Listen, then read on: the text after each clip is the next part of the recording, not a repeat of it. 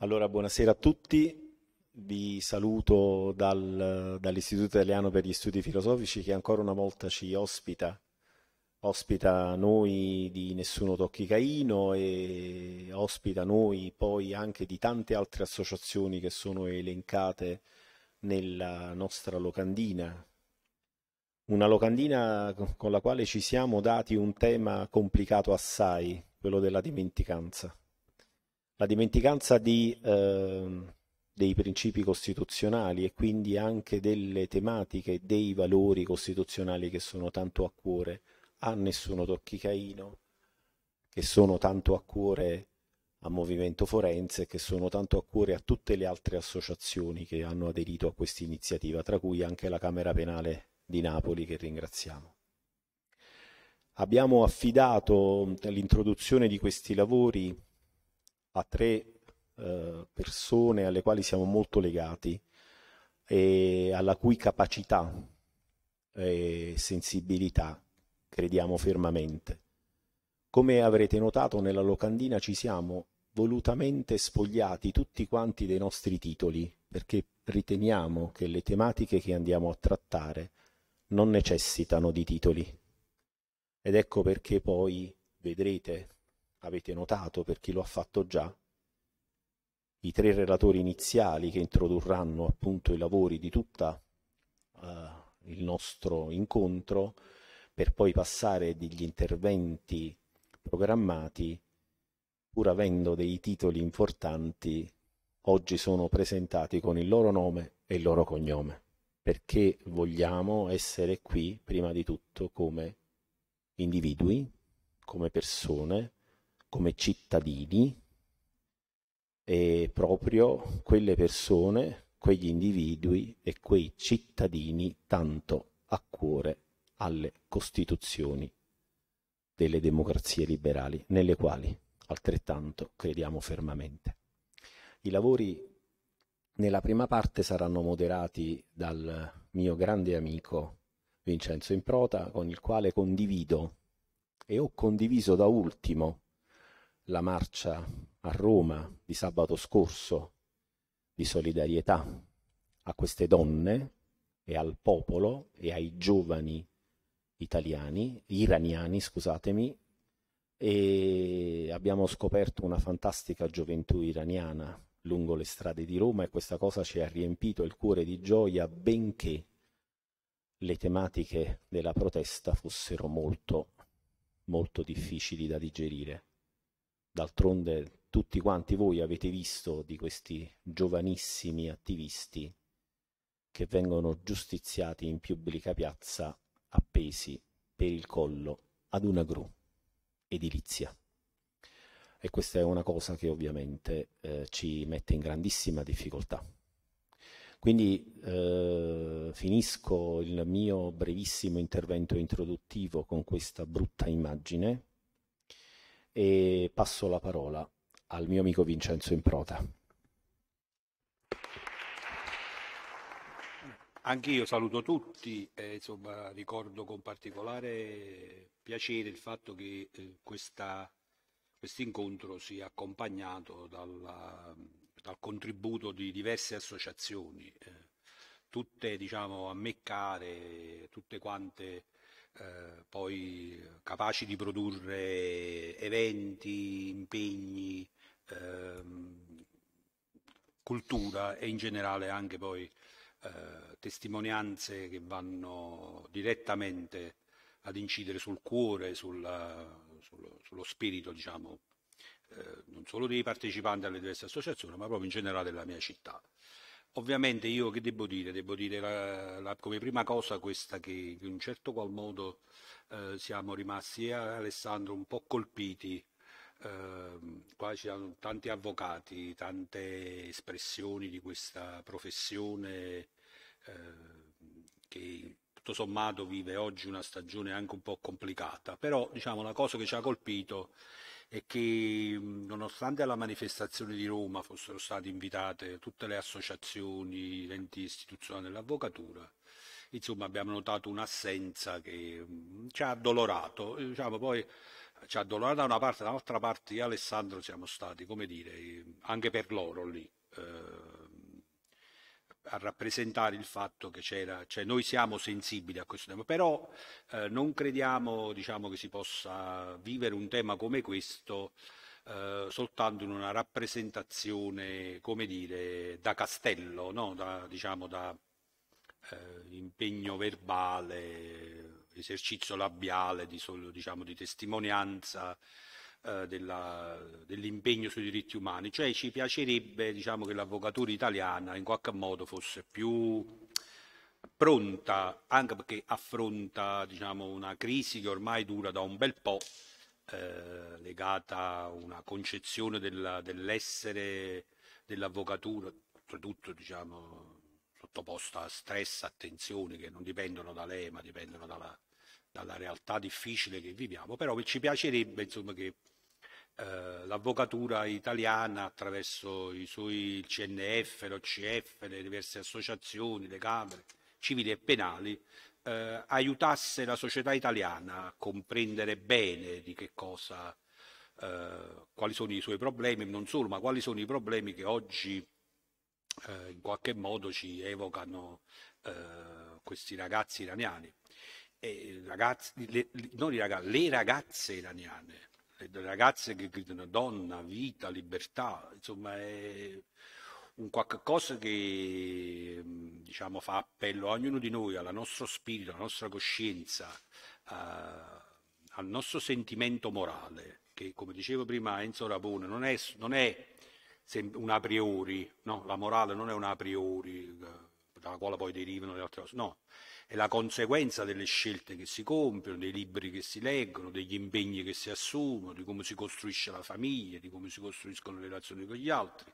Tutto, que- tutto questo genera la, cres- la nascita di un sentimento morale, di un senso morale che poi ti porta al momento decisivo a saper scegliere ciò che è giusto e ciò che è ingiusto. Noi oggi parliamo degli iraniani, ma io ho notato una cosa che diciamo, mi colpisce perché è una, per noi diciamo, che stiamo vivendo questo tempo è una, una cosa che possiamo rilevare. Ci sono un sacco di popoli in fuga, un sacco di popoli in fuga dal proprio paese. L'Iran, l'Afghanistan, la Siria, eh, la Libia, la Nigeria, eh, la Bielorussia, insomma, oh, eh, diciamo Applebaum, che è questa scrittrice americana che ha scritto un libro mirabile sul comunismo, ha, scritto, ha fatto una, una, relazione in una università americana e ha rappresentato diciamo, diciamo, la ragione per la quale poi succede questo, tutti questi popoli in fuga, eh, di cui, di, dei cui diritti io vorrei che l'avvocatura si interessasse. Questo Applebaum, dicevo, ha fatto questa relazione, ha detto eh, si è creato un internazionale criminale, stati governati da criminali che si associano, si sostengono reciprocamente e stanno minando, vogliono con le risorse, i soldi, dal Nicaragua al Venezuela, Cuba, la Russia, Bielorussia, l'Iran, eh, la Cina, stanno, vogliono minare nostra, il nostro mondo, vogliono minare le nostre istituzioni, eh, poi ci sta pure una nota un po' così, eh, persino il Marocco insomma, sembrerebbe, sembrerebbe che eh, diciamo, possa affondare il suo coltello nelle debolezze delle, delle, delle, delle istituzioni europee per, per, minarne la credibilità. Quindi, diciamo, quindi mi piacerebbe che l'avvocatura, ecco, eh, cogliesse l'occasione che oggi noi le porgiamo, grazie a Alessandro, eh, sviluppasse una riflessione su, sui diritti dei, dei, popoli in fuga. E a Napoli poi in particolare fosse possibile costruire un'occasione di discussione con i rappresentanti di questi popoli che scappano dal loro paese costretti da questi criminali che nel loro paese eh, li sottomettono, li ammazzano per diventare ricchi e per scambiarsi fra di loro un reciproco sostegno per aumentare la loro ricchezza, la loro, quella delle loro famiglie e dei loro complici. Quindi diciamo, questa è una cosa che volevo dire perché ci tenevo particolarmente. Poi per quanto riguarda oggi, oggi abbiamo con noi eh, tre rappresentanti di realtà. Eh, Bruno De Maria, a cui mi leggo un rapporto storico, che eh, eh, mi piacerebbe, diciamo, eh, se Bruno lo farò raffare, eh, ci parlasse dei principi costituzionali materiali però, cioè facendo leva sulla distinzione fra Costituzione formale e Costituzione materiale, noi probabilmente assistiamo, anche per le storie che sono successe negli ultimi trent'anni, ad una costruzione di una, della, quella che chiama, chiamiamo la, costru, la, Costituzione materiale, che sposta diciamo, l'asse già precario della dimensione liberale della nostra Costituzione eh, lo sposto ancora diciamo, in maniera forte verso eh, qualche orizzonti eh, meno liberali di quello che io auspico, perché eh, non ultima la, la, la, disarticolazione del sistema della divisione dei poteri che ci aveva contraddistinto fino a un certo punto e oggi invece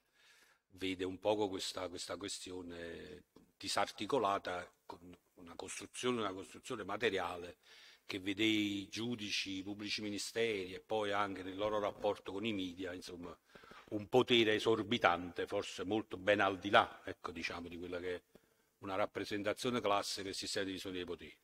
Poi abbiamo eh, Vincenzo, Vincenzo Rapone, altra persona a me cara, che mi piacerebbe se appunto facesse eh, dicesse delle, le cose, vabbè, dirà quello che vuole, però eh, sul, sullo stato del liberalismo, cioè, cioè sul, sul, come oggi eh, il liberalismo possa offrire eh, eh una sponda alle, alle, persone, ai popoli, perché il liberalismo è, per me è sinonimo di tolleranza.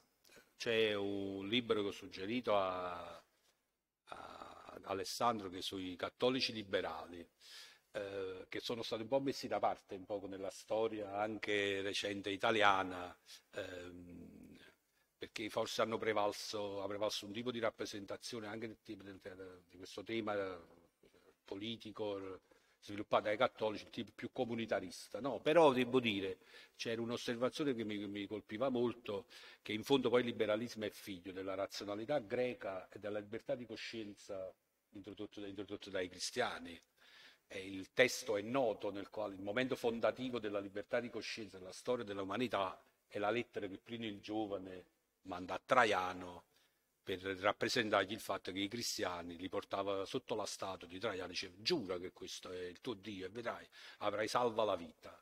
E invece questi cristiani dicevano no, mi dispiace, dottore, mi dispiace, non posso, io tengo a Cristo e poi fai quello che vuoi, però io non dirò mai che questo è Dio, il mio Dio è Cristo. Quindi diciamo, mi piacerebbe che se lui, appunto, eh, che ne è capace sicuramente, ci dicesse se il liberalismo oggi diciamo, può trovare una sua formulazione anche, eh, che ovviamente sappiamo essere legata alle vicende nazionali, anche una formulazione più ampia che raccolga eh, il tema della globalizzazione. Poi c'è l'amica Ghazal, ragazza iraniana, studiata in Italia. Io che devo dire? Io ho un problema personale con gli Ayatollah, un problema che proprio mi sono no, antipatici di più, perché io tenevo una casa dove nell'81 c'erano questi ragazzi iraniani che fuggivano dall'Iran, io li ospitavo, poi tenevo gli amici miei a ingegneria che scomparvero perché erano comunisti e gli altri ragazzi iraniani a cui chiesi che fine hanno fatto, no, questi li hanno fatti rientrare, hanno preso, hanno sequestrato le famiglie, li hanno fatti rientrare, li hanno ammazzati, giovani 19, 20 anni ammazzati da questi qua, quindi diciamo, beh, una roba che per me è insopportabile. Quindi diciamo lei invece è una delle combattenti per, questa, per, questa, per la libertà. E lei, i giovani iraniani, i ragazzi iraniani, i ragazzi ucraini, diciamo sono i ragazzi i giovani che noi dobbiamo indicare come eh, esempi per, anche per i nostri figli, perché mettono in campo la loro vita, la loro passione, rischiano, ma non rischiano poco, rischiano tantissimo, quindi non è che eh, rischiano la multa o cioè, la patente. No, insomma, qua si tratta di fatti veri, di uomini e di donne vere, eh, che pur se giovani già sono esempio anche a noi che siamo più anziani. E quindi diciamo oggi siamo qui e appunto grazie a Alessandro che ha voluto questa cosa, eh, nel voler ricordare, nel voler ricordare ciò che siamo e nel voler ricordare eh, tutti questi esempi che ci possono portare ad essere migliori eh, di quello che siamo stati finora.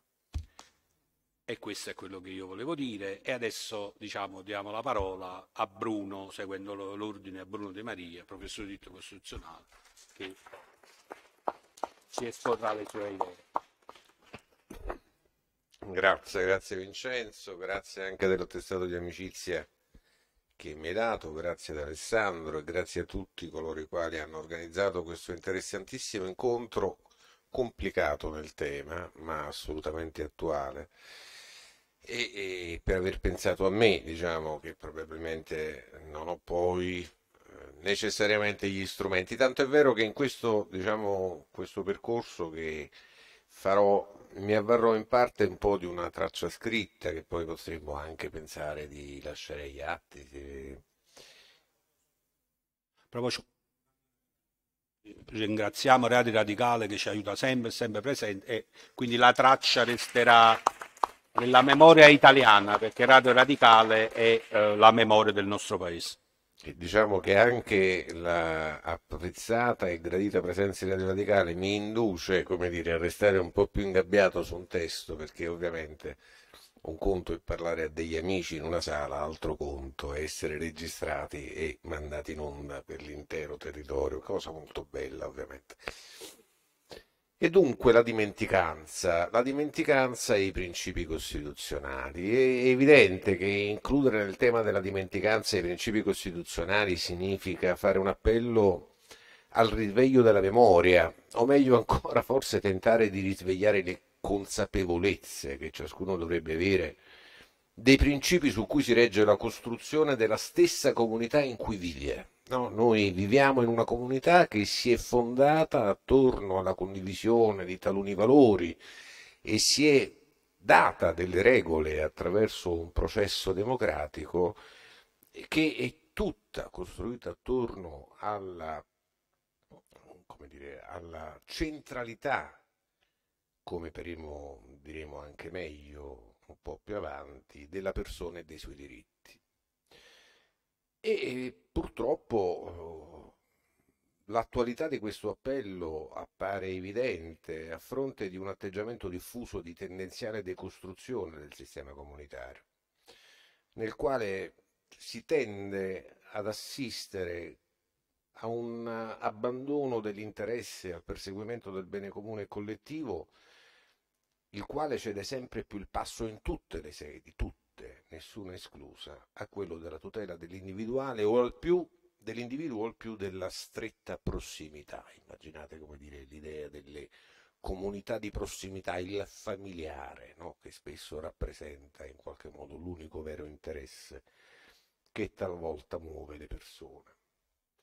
E quindi emerge un atteggiamento individualista nei tempi recenti, nel contesto sociale, atteggiamento che tuttavia contrasta anche proprio con quei principi fondativi del nostro ordine sociale e comunitario, prima ancora che costituzionale, laddove sono proclamati anche dei doveri oltre che dei diritti e tra questi spicca il dovere di solidarietà. Dovere di solidarietà declinato in vari modi nell'articolo 2 della Costituzione e collocato dunque, proprio perché è presente nell'articolo 2, sullo stesso piano dei diritti, che evidentemente non rende compatibile con esso questo atteggiamento di indifferenza rispetto alla sistemica violazione dei fondamentali diritti a cui incessantemente e pubblicamente assistiamo, sia all'interno del nostro più angusto territorio, sia anche osservando i fenomeni a cui faceva prima riferimento, facevano riferimento sia Alessandro che Vincenzo e sui quali poi ci concentriamo oggi alla fine il senso di questo incontro, l'abbiamo sentito, è proprio quello di discutere di quello che sta accadendo attorno a noi. Ed è un'indifferenza che peraltro appare come una rinuncia a quella che invece dovrebbe essere sempre più una priorità indifferibile, ossia la rivendicazione della necessaria effettività del riconoscimento della garanzia della inviolabilità di quei medesimi fondamentali diritti e valori supremi su cui si fonda l'intero assetto delle regole di convivenza che ci siamo dati. Quindi in questa prospettiva come possiamo, che contributo possiamo dare? Innanzitutto, rispetto alla mia presenza qui, cercare di ricostruire quella diciamo, base di principi e di valori attorno ai quali ci siamo uniti. E che, e faccio qui come dire una deviazione anche dal percorso che mi ero dato, Vincenzo, mi riferisco a quello che dicevi, io non ammetto che possa tradursi tutto questo in una logica di accettazione, così come invece sarebbe se cominciassimo a parlare di Costituzione materiale. Sappiamo che la Costituzione materiale è un concetto che fu elaborato in Italia da Mortati, ma insomma riprendeva poi qualche studio fatto altrove, soprattutto in Germania, e che in qualche modo serviva a legittimare una deviazione dal percorso costituito, cioè in qualche modo tendeva a riconoscere la forza dell'agire politico anche in contrasto o comunque non in perfetta linea con ciò che la Costituzione scritta voleva. E forniva degli elementi di legittimazione, degli elementi di legittimazione fondati peraltro su un ragionamento che in qualche modo tendeva a legittimare in genere il potere politico. Questo significa costruire un meccanismo di accettazione, ma questa accettazione non è ammessa, non è ammissibile, perché stiamo parlando di ciò che non può essere negoziato. I valori e i principi fondamentali non sono oggetto di negoziazione possibile, sono sottratti alla revisione costituzionale e sono un limite espresso a qualunque scelta legislativa che si dovrà non soltanto conformare ad essi come limite ultimo da non superare, ma anche e soprattutto come spirito da inverare. Questo è ciò che noi ricaviamo anche dall'applicazione del canone della ragionevolezza, come poi cercheremo di dire con più ordine un po' più avanti. E i principi e i valori che emergono dalla prima parte della nostra Costituzione e che sono, come sappiamo, sappiamo tutti, stati oggetto di una votazione sulla quale fu una grandissima convergenza, il grande compromesso tra tutte le forze che parteciparono a quel processo, esclusa la forza, diciamo, contro la quale si reagiva l'estrema destra, pur presente ovviamente la forza liberale nel, nel processo costituente, ma la forza liberale appunto. E dicevo, sono principi che non è che la nostra Costituzione ha scoperto, sono principi che la nostra Costituzione ha affermato sulla base di una eredità che ha tratto dalle tradizioni culturali che sono emerse nel pensiero giuridico, politico, filosofico, sociale, economico del mondo occidentale, a partire dall'epoca delle grandi rivoluzioni borghesi, cioè quelle rivoluzioni nelle quali con il sangue si è portata avanti, talvolta vincendola, sia pure poi con le contraddizioni dei cicli storici successivi, ma la lotta per i diritti la lotta per i diritti, la lotta per l'affermazione dei diritti come centro di ogni sistema ordinamentale e come nucleo fondativo di qualunque comunità. Il senso stesso del vivere in comunità, secondo quelle tradizioni, viene dalla necessità di proteggere quel nucleo di diritti che non sono più e solo quei diritti che legittimavano le, come dire, gli assolutismi monarchici e quindi questa sovranità assoluta sui beni e sulle persone che veniva riconosciuta al monarca in cambio della protezione della sicurezza individuale e dell'ordine pubblico. Sono diritti che hanno una pervasività molto più forte, sono diritti che riguardano la persona in ogni sua forma. Sappiamo che l'articolo 2, non lo scopriamo certo oggi, afferma il principio personalista che significa la persona al centro, ma al contempo il principio pluralista, ossia la persona nella sua dimensione sociale, plurale, comunitaria e in nome di questo intesta entrambe le manifestazioni dell'essere la titolarità dei diritti intesi come inviolabili. Ma quali sono questi diritti, bah, insomma, potremmo metterci a leggere il testo della Costituzione, enunciarli, non avrebbe senso. Sappiamo che da anni nella dottrina costituzionalistica italiana, la più avvertita, si dibatte sul fatto che se i diritti costituzionali siano da intendersi solo quelli espressamente enumerati nel testo costituzionale, la tesi di pace, ovvero quelli che assumono a diciamo, un'esigenza di protezione delle quali, dei quali si riconosce un'esigenza di protezione in ragione di una emersione nel contesto sociale, nel contesto comunitario, di esigenze e istanze che in passato non erano avvertite, come d'altra parte poi sappiamo e abbiamo assistito nel tempo recente, la crescita dei sistemi di informazione ci ha fatto avvertire la necessità di proteggere la nostra sfera di riservatezza, le nuove dimensioni dell'ambiente hanno consentito di collegare alla Costituzione alcune situazioni personali, ma anche la bioetica, i diritti di fine vita o ad esempio il discorso dei diritti dei detenuti.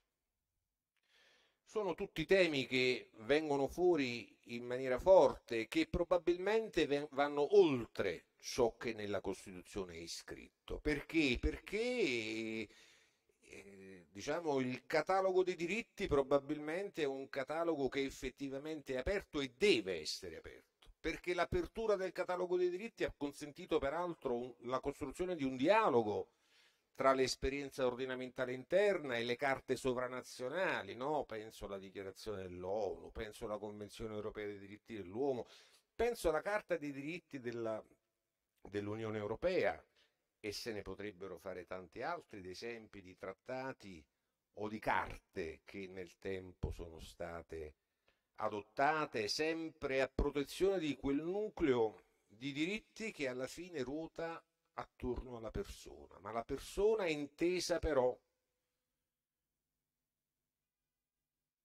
come portatrice di una dignità, perché la dignità, la matrice fondativa di ogni diritto. La persona è vista come persona che deve necessariamente essere messa nelle condizioni di preservare la dignità della sua esperienza di vita. E Dunque i collegamenti tra l'articolo 2 e l'articolo 3, il principio di uguaglianza, non solo diritti ma anche uguale trattamento nella fruizione di questi diritti e nella garanzia della dignità, sia in termini di diritti che ostacolano l'esercizio dei poteri pubblici, immaginiamo i diritti di libertà, sia nei diritti sociali che sull'articolo 3, principio di uguaglianza, sia pure inteso in senso sostanziale, come sappiamo, trovano la loro matrice.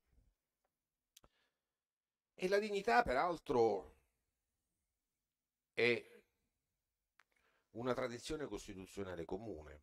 La Corte di giustizia dell'Unione Europea lo ha chiaramente detto ha detto benché nella, diciamo, nel testo della carta, al tempo in cui scriveva la Corte, non ci sia stata un'emersione chiara di questo valore, si tratta di una tradizione costituzionale comune alla quale vanno piegate addirittura le esigenze codificate nei trattati che hanno come matrice le leggi economiche. Quindi quella visione ipereconomica che sappiamo aver orientato il sistema europeo e anche la sua giurisprudenza, ha trovato proprio nella dignità uno specifico limite, nella dignità della persona. E allora ogni diritto intanto ha senso e intanto ne possiamo parlare nella misura in cui è in grado di tradursi in un presidio alla dignità delle persone. La libertà personale, è espressamente orientata in questo senso. Se noi leggiamo l'articolo 13 della Costituzione, vediamo che è precisato, come sappiamo, come molti sanno, che ad esempio è vietato qualunque forma di violenza morale o fisica nei confronti delle persone che sono sottoposte a dei limiti della libertà personale, il divieto di tortura, ma non solo. Che vuol dire? Vuol dire che non bisogna privare della dignità la persona ancorché reclusa, ancorché soggetta alla forza del potere coercitivo che scatta all'esito delle garanzie di legge e di giurisdizione che, come sappiamo, presidiano l'applicazione della sanzione penale. Ma è soltanto la violenza morale o fisica che è in grado di violare la dignità di queste persone o meglio, che vuol dire violenza morale o fisica? È soltanto quell'atteggiamento del detentore della forza che non deve esercitare queste forme, questi atteggiamenti nei confronti del recluso o si tratta piuttosto di costruire un contesto nel quale accanto alla funzione costituzionale della pena, qual è, come sappiamo, quella riabilitativa e non già punitiva, venga garantito il rispetto, nei limiti ovviamente possibili, della persona detenuta, privata di pezzi dei suoi diritti, ma pur sempre persona. Ed è la dignità, per esempio, che consente di bilanciare addirittura il diritto alla vita, lo abbiamo visto nella giurisprudenza sul caso Cappato. No? Il diritto alla vita che in una certa concezione un diritto assoluto intangibile e indeclinabile viene invece relativizzato in ragione della dignità della vita da vivere o della vita vivibile. E non è più un bene intangibile la vita della persona se quella vita ha perso i caratteri della vita degna. Ce lo ha detto la Corte Costituzionale, non è il sermone di un sacerdote laico è ciò che la nostra Costituzione consente al giudice costituzionale di dire, di superando le inerzie del legislatore che su questi temi peraltro nell'ultimo ventennio è totalmente assente. Ed è dignità anche quindi quel gesto di cui ho appreso ieri sera in una notizia trasmessa in televisione di quel ragazzo iraniano che sottoposto alle misure assurde che si stanno scagliando nei confronti di questi giovani, ha chiesto di non piangere al, alle sue esequie, al suo funerale, ma piuttosto di mettere musica e ballare, no? e quindi affrontare in maniera degna questo momento del suo abbandono, del suo, del suo trapasso. Dignità è anche quella che dovrebbe prevalere, per esempio, nelle scelte, dignità della persona, dovrebbe prevalere nelle scelte che riguardano aree del territorio. Immaginiamo la storia della ex Ilva di Taranto. Le questioni sono complesse, ci sono vari passaggi, ma vi sembra degno barattare la vita del lavoratore con l'esigenza di garantirgli uno stipendio? Io penso proprio di no. Penso che non ci sia proprio margine di trattativa su questi temi.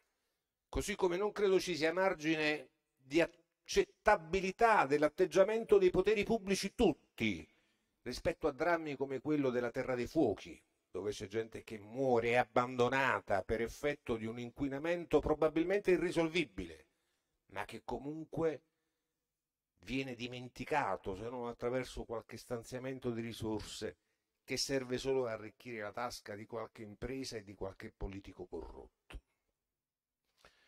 Quindi, in conclusione, perché non voglio prendere tutto lo spazio, io credo che il valore della dignità rappresenti, come dire, un punto di partenza di qualunque ragionamento, del privato, del pubblico, del decisore politico e del giudice.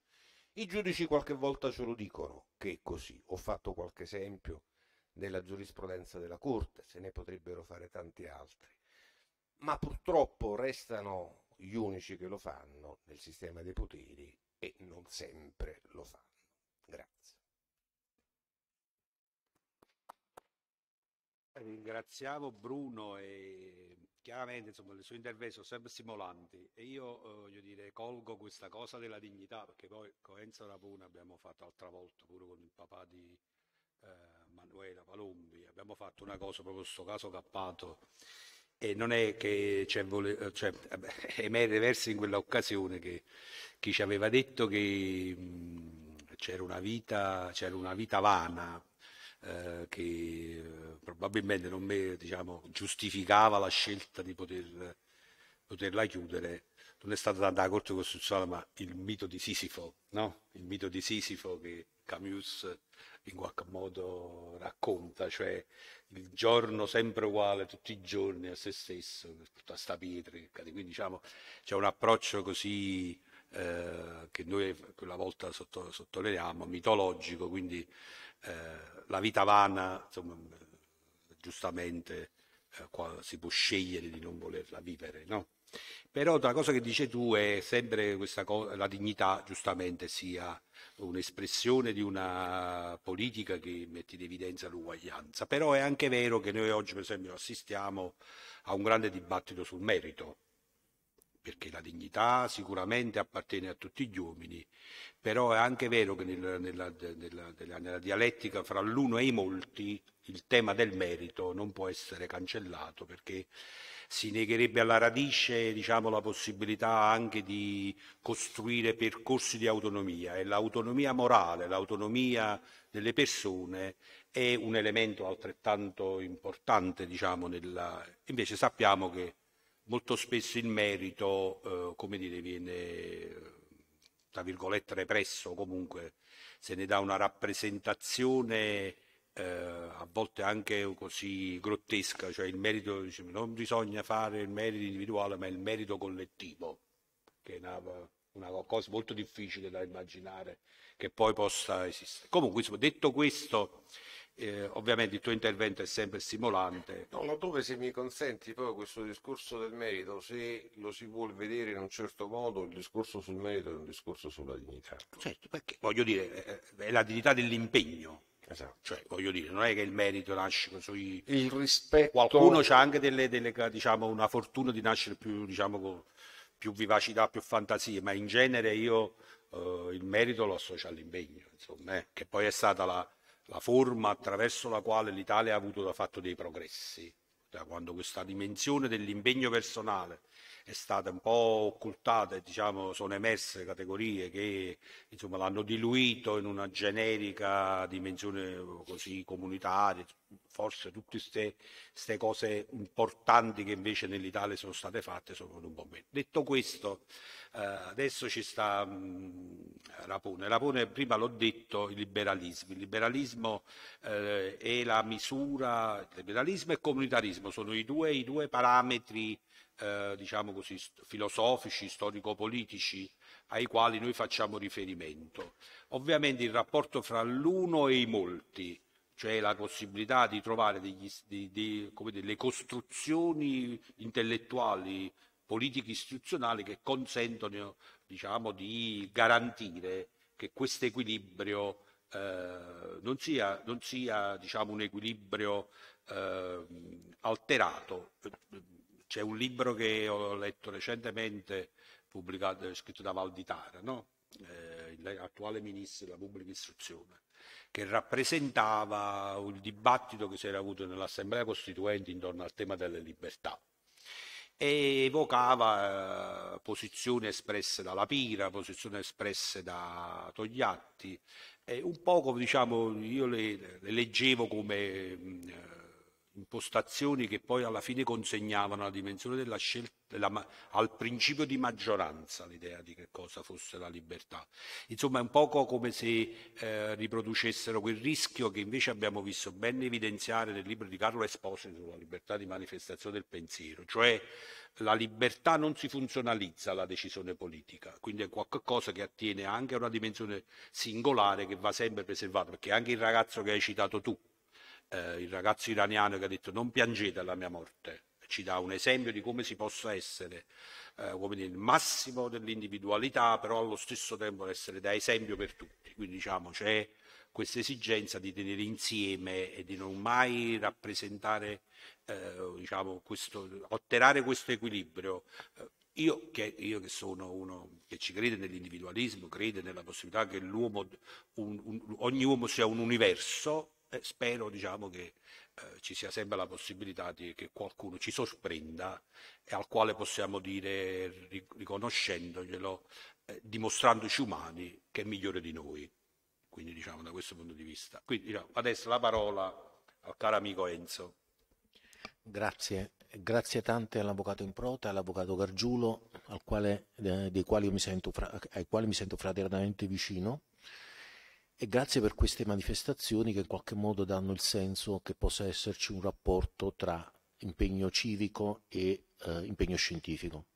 Il tema che mi è stato affidato non è eh, per nulla di semplice eh, definizione e effettivamente noi siamo in un campo abbastanza delicato che è quello dell'epistemologia dei diritti umani e le sole cose che sono state dette qui in pochi minuti attestano delle, che ci sono dietro dei presupposti che da un punto di vista teorico-epistemologico sono giganteschi e che andrebbero specificati uno per uno.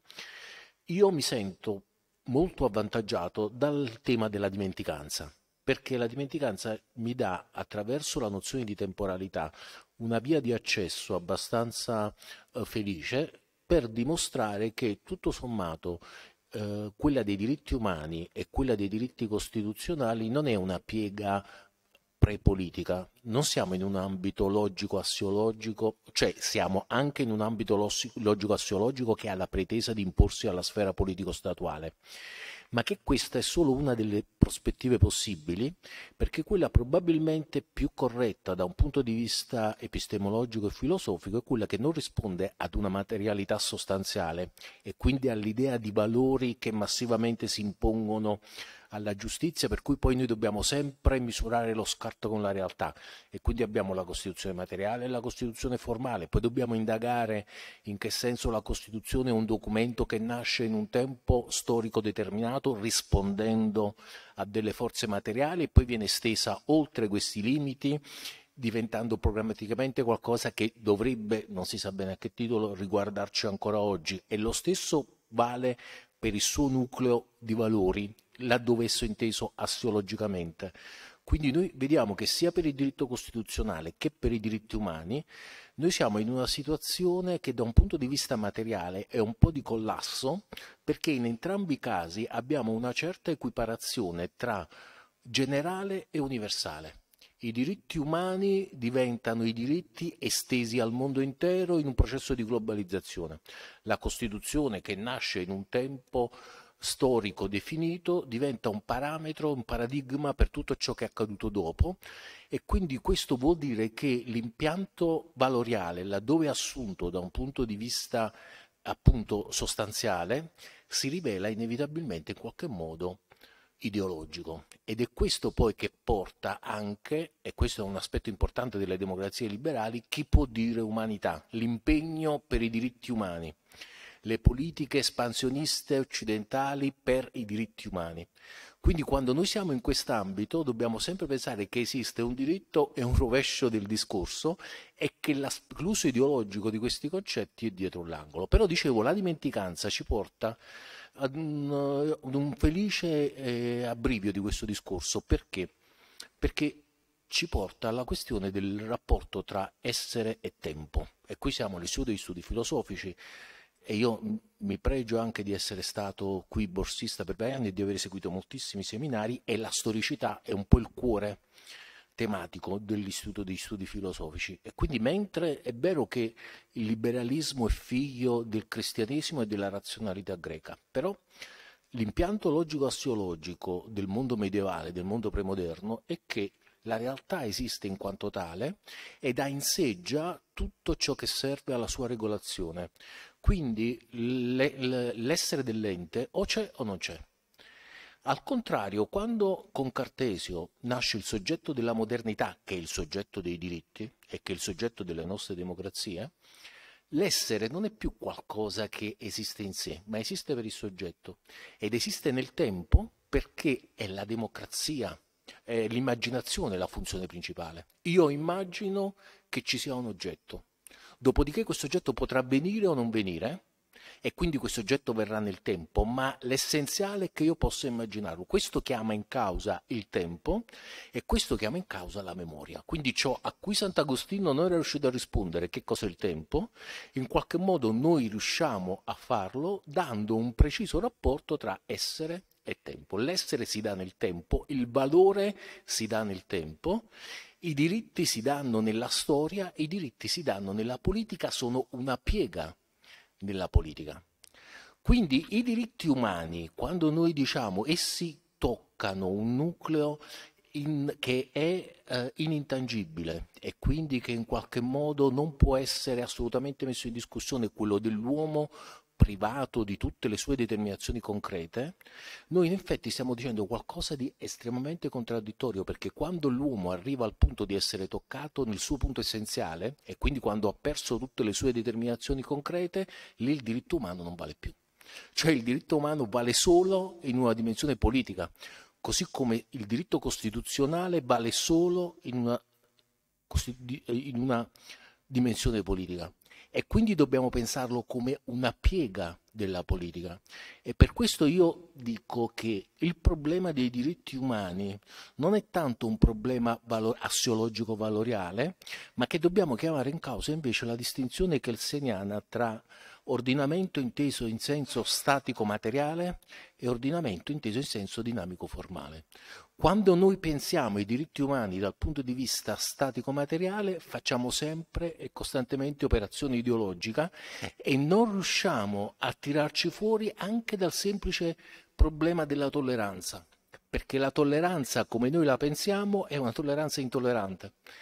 Cioè ogni discorso per la tolleranza ha in sé una metaregola che esclude ogni tipo di intolleranza. La libera scelta è qualcosa che in qualche modo non prevede che è qualcosa che ha un esito concreto e quindi non prevede che qualcuno possa in qualche modo sottrarsi. Quindi la persona che resta in ambito tradizionale, la donna che sceglie il velo non lo potrà mai fare liberamente. La libertà porta invece ad una certa decontestualizzazione. Quindi siamo all'interno di una dinamica che in qualche modo o noi pensiamo di avere effettivamente il medio, l'universale che media tutte le realtà concrete e quindi di poter maneggiare effettivamente Dio, perché noi di questo stiamo parlando alla fine, oppure stiamo parlando di una civiltà che in un dato momento si assur- eh, assurge a civiltà universale e cerca di far valere come universale i propri valori. Quindi dal punto di vista di chi vi parla, non è il liberalismo non potrà essere esercitato dal punto di vista assiologico, dal punto di vista valeriale, è una questione che deve rispondere al modo, deve rispondere a come noi interpretiamo il valore giuridico e in particolare che ogni nostro atto possa tenere in sé quella che Kelsen chiamava norma fondamentale, cioè che possa tenere in sé la, la norma che legittima implicitamente l'ordine qualsiasi nostro atto morale o giuridico non deve essere una risposta a un ordine concreto, ad un ordine morale, a un imperativo dato, a un comando, a qualcosa che esteriorizza e che materializza un valore, ma che deve invece rispondere alla legittimazione di quel stesso comando.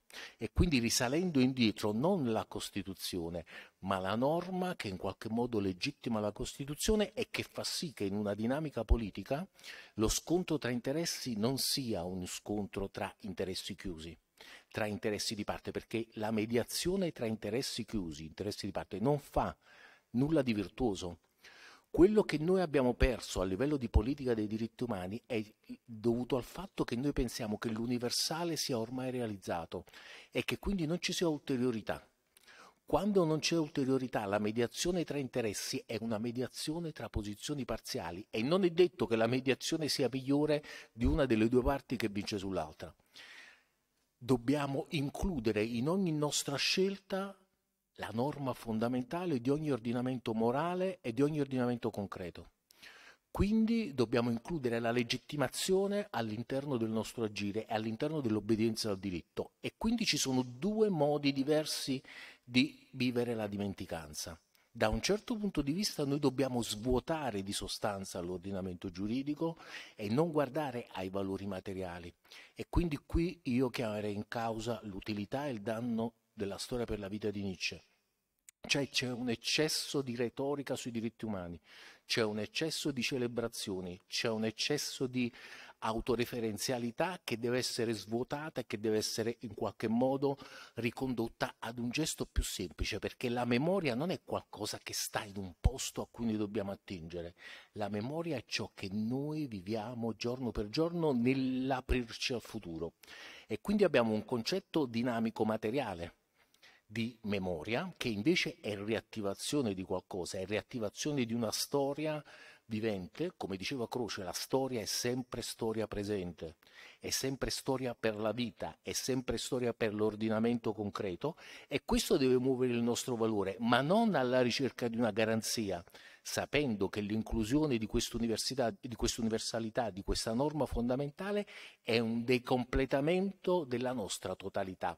Per cui io anche l'opposizione individualismo-comunitarismo alla fine la soluzione non è sui valori, ma è nelle totalità chiuse o nelle totalità che accettano al loro interno un elemento che sia in grado di farle esplodere come tali e di aprire a quel supplemento d'origine, come dicono i filosofi, la cui inclusione effettivamente umanizza i soggetti. Qualsiasi individuo in quanto tale, qualsiasi comunità in quanto tale, se sono chiuse e sono autoreferenziali, se negano la propria dipendenza da un elemento in qualche modo legittimante esterno, sono delle comunità chiuse e autoreferenziali e quanto tali non saranno mai democratiche, anche se ispirate a principi liberali. Qualsiasi individuo e qualsiasi gruppo, se accetta che la propria fondazione è estima a se stesso, cioè è in parte interna, in parte esterna a se stesso, se include questo fondamento eccedente rispetto alla propria Costituzione, può mettersi sulla strada di un'umanizzazione che è un punto d'arrivo. Il grande errore del costituzionalismo e della politica dei diritti umani è lasciarci pensare che noi già siamo esseri umani in quanto tali, il che da un punto di vista fattuale è certamente vero, ma è anche vero che l'umanità è un ideale da raggiungere, in quanto l'umanità in quanto tale è un significante vuoto. Cioè, mentre gli animali materializzano una perfetta coincidenza tra essere ed esteriorità e quindi non sono mai fuori di se stesso, di se stessi e quindi il cavallo sarà sempre equino in qualche modo. L'uomo è l'unico essere che non risponde a nessuna essenza giuridica, a nessuna essenza formale, a nessuna essenza logica, può essere qualsiasi cosa e per lui l'umanità è una conquista, non un punto di partenza. Quindi la riappropriazione di questo fondamento ci porta in qualche modo sulla strada di ciò che ha costituito l'umanità in quanto tale, che è proprio la coscienza della morte. Cioè l'uomo storicamente si è separato dall'animalità quando si è definito come mortale e quando ha capito che c'era una memoria di specie, cosa che gli animali non hanno i racconti dei primitivi sono, e questo lo, lo, riferisce anche Freud in Totem e Tabù, sono pervasi dall'incognita del primitivo davanti alla morte. La sepoltura è data proprio dal fatto che si teme o si pensa che il soggetto possa in qualche modo rivivere, perché non essendoci una definizione dell'umano, anche la morte è qualcosa, è un fenomeno totalmente estraneo alla mentalità primitiva perché i primitivi, discendendo totemicamente da enti determinati, non si pensavano come uomini, si pensavano come figli del cane, figli del cavallo. La nozione di umanità si conquista attraverso la morte, si conquista attraverso la, tem- la temporalità, si conquista attraverso la dimenticanza e l'acquisizione di una memoria positiva. Quindi in definitiva, io non credo che il problema sia di valore in senso logico-assiologico, ma di un orientamento epistemico, che la democrazia sia una questione e che la democrazia liberale sia una questione di orientamento epistemico al sapere. E qui mi taccio. Ovviamente tutto interessante, però io diciamo, colgo questa, questa, questa cosa del, diciamo, dell'umanità, del diventare umani. Umani si diventa e, e, la collego a questa, questa, riflessione che un po' riguarda il tema del diritto, no? se il diritto è una tecnica di controllo della paura, Leviatano, cioè il sistema giuridico è un sistema eh, che si contraddistingue perché il, punto, il, suo punto di riferimento è la pena e quindi eh, determina i comportamenti, ti induce ai comportamenti perché altrimenti ci sta la sanzione, oppure se per diventare, diciamo, eh, anche sotto questo profilo umani, non valga il tema della fiducia, cioè non valga il tema di una costruzione, eh, il diritto eh, che porti a valorizzare il tema eh, della fiducia, della, della, dell'essere umano, eh, della persona, capa- nella sua capacità eh, di essere testimone eh, ben oltre se stesso anche per gli altri e quindi diciamo essere capace di costruire relazioni nelle quali si interiorizza l'altro e il rispetto per l'altro senza questa, eh, questa tecnologia del potere che noi un po' in fondo è il diritto. E quindi qui vengo ai ragazzi iraniani, insomma, che in qualche modo ci hanno dato uno degli slogan eh, che io ricorderò come, per tutta la vita che mi resta, come uno delle, dei più belli che abbia mai sentito nel, diciamo, pronunciare nelle piazze, nel, nell'agire politico, eh, sui manifesti. Questo qua, Donne, Vita, Libertà, che mh, mm, ci, dice, ci, dice, che mh, mm, eh, questi giovani eh, vogliono affermare se stessi, però fanno questa operazione che eh, io credo che pure dobbiamo tenere presente, perché poi noi facciamo, facciamo molto spesso per noi stessi oggetto di un'autocritica spietata, però i ragazzi a Teheran, i ragazzi iraniani dichiarano nelle loro interviste che vorrebbero vivere liberi come si vive a New York, come si vive a Los Angeles. Questo mondo occidentale nostro, ispirato appunto al tema del liberalismo, forse anche al tema della trasgressione, insomma qual- qualche cosa, vabbè, diciamo, forse sarebbe stato meglio per tutti quanti noi essere più figli dei fiori, no? Tutto sommato, rispetto a tante costruzioni che abbiamo fatto ipotecate da eh, dottrine mortifere, no? Che ci hanno portato i nostri giovani a scegliere strade sbagliate, il terrorismo, e me facili figli di Però loro vogliono vivere come da noi eh, voglio vivere come a New York, voglio vivere a Los Angeles, dove appunto la costruzione sociale è una costruzione molto orientata dal tema della libertà. E quindi diciamo, a questo punto ci, la nostra amica Gazzal ci deve dire, lei ci può dire a noi eh, quello che i ragazzi iraniani eh, ci vogliono la, lanciare come, come, segnale, come testimonianza e come, soprattutto come esempio, ripeto, esempio da indicare ai nostri figli. Così si è umani, così vale la pena di vivere, come stanno vivendo e come stanno dimostrando di saper vivere i ragazzi iraniani. Prego. Eh, innanzitutto grazie veramente per eh, avermi invitato a questo evento, per avermi concesso questa tribuna, per essere eh, la voce dei, dei, nostri giovani, delle nostre donne, di, della nostra popolazione. E, ehm, in Iran, come ormai tutti sapete, oggi tra l'altro è il 16 dicembre, quindi esattamente tre mesi dalla morte di Mahsa Amini, questa ragazza che ormai conosciamo tutti quanti, eh, una delle migliaia di vittime di questo regime, un regime che ha eh, istituzionalizzato la misoginia sin dalla sua fondazione, appunto tramite Khomeini nel 79 e che ha eh, indubbiamente, eh, colpendo quelli che sono i diritti delle donne, eh, ha minato e ha viola sistematicamente i diritti di tutta un'intera eh, popolazione. E a oggi in Iran appunto al, eh, si è concluso il terzo mese di, di, proteste, proteste che non danno assolutamente segno di voler scemare, anzi eh, giorno dopo giorno le ondate mh, aumentano. E, mh, ci sono stati oltre eh, 700 morti fino a, fino a, oggi, di questi eh, circa più di 60 sono, sono donne, oltre eh, quasi 70 sono purtroppo minorenni e per minorenni intendo sia bambini di 2-3 anni sia giovanissimi di 16-17 anni e ehm, è un dato indubbiamente importante e preoccupante sono i 30.000 prigionieri, eh, i 30.000 manifestanti appunto arrestati in questi tre mesi che attualmente si trovano nelle famigerate carceri del, del nostro paese e che indubbiamente in questo istante stanno subendo delle mh, feroci eh, torture come consueto appunto per questo regime.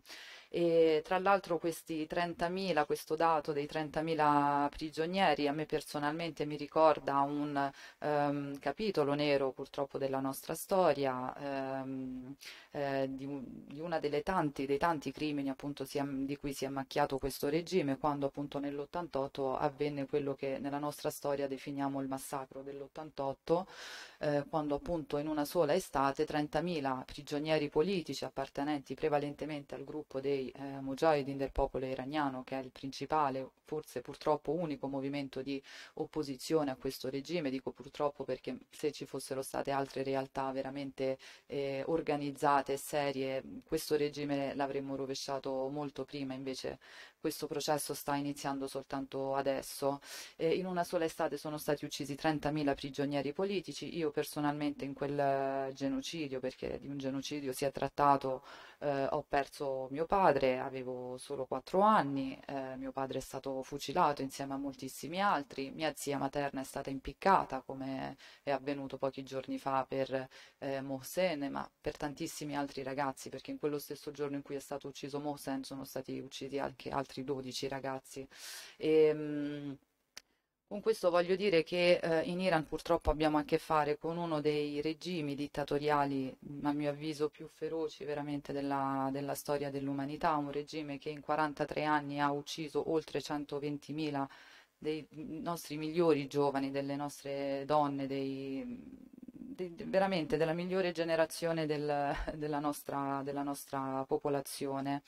Ehm, in prima linea indubbiamente ci sono sempre stati appunto i giovani e, e, e le donne e ehm, tant'è vero che anche la goccia che ha fatto traboccare il vaso è stata la morte appunto di eh, Masso Amini per mano della cosiddetta polizia morale che ogni giorno veramente già prima di Masso Amini eh, uccideva indiscrimin- indiscriminatamente le nostre, le nostre donne.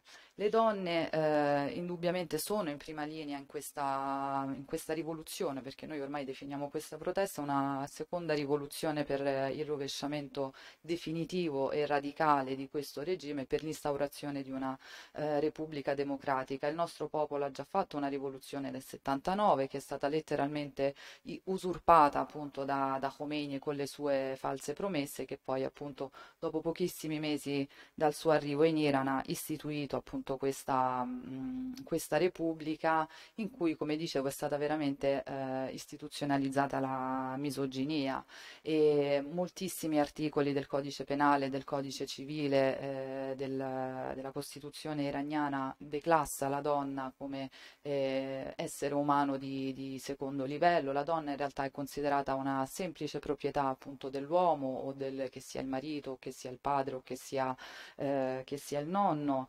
E, la donna è, è, fondamentale, un elemento importante per procreare figli, figli eh, possibilmente maschi che vengano eh, tirati su secondo quella che è la Sharia, appunto la mentalità reazionaria, l'interpretazione reazionaria dell'Islam da parte di questo regime e che appunto nella, eh, nella, nella, società iraniana purtroppo ha eh, pochissimi, pochissimi diritti.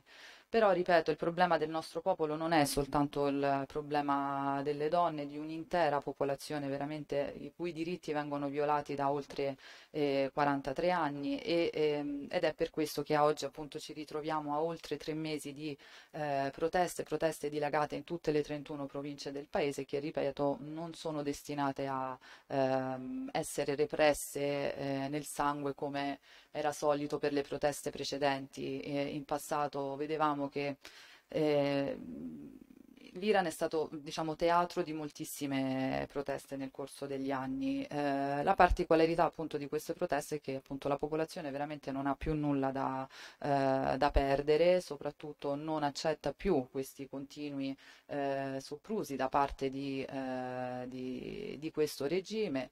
In prima linea appunto ci sono queste donne sia perché eh, la, la Costituzione iraniana è una Costituzione che colpisce in primis le donne, quindi sono più motivate indubbiamente a eh, ergersi contro questo, eh, questo dittatore. E le donne ehm, moltissime donne appunto sono state uccise in questi 43 anni, eh, queste oltre 120.000 vittime che noi abbiamo avuto in questi 4 anni, di, tra questi ci sono moltissime donne, giovanissime, anche donne incinta, eh, questo regime veramente non risparmia nessuno e lo stiamo vedendo anche appunto in questi giorni mh, mm, con queste forze repressive eh, militari e paramilitari appunto del eh, corpo delle guardie della rivoluzione dei Basigi che sono appunto quegli agenti che molto spesso in borghese eh, si infiltrano in queste manifestazioni e sparano veramente a distanza ravvicinata ai nostri, ai nostri giovani.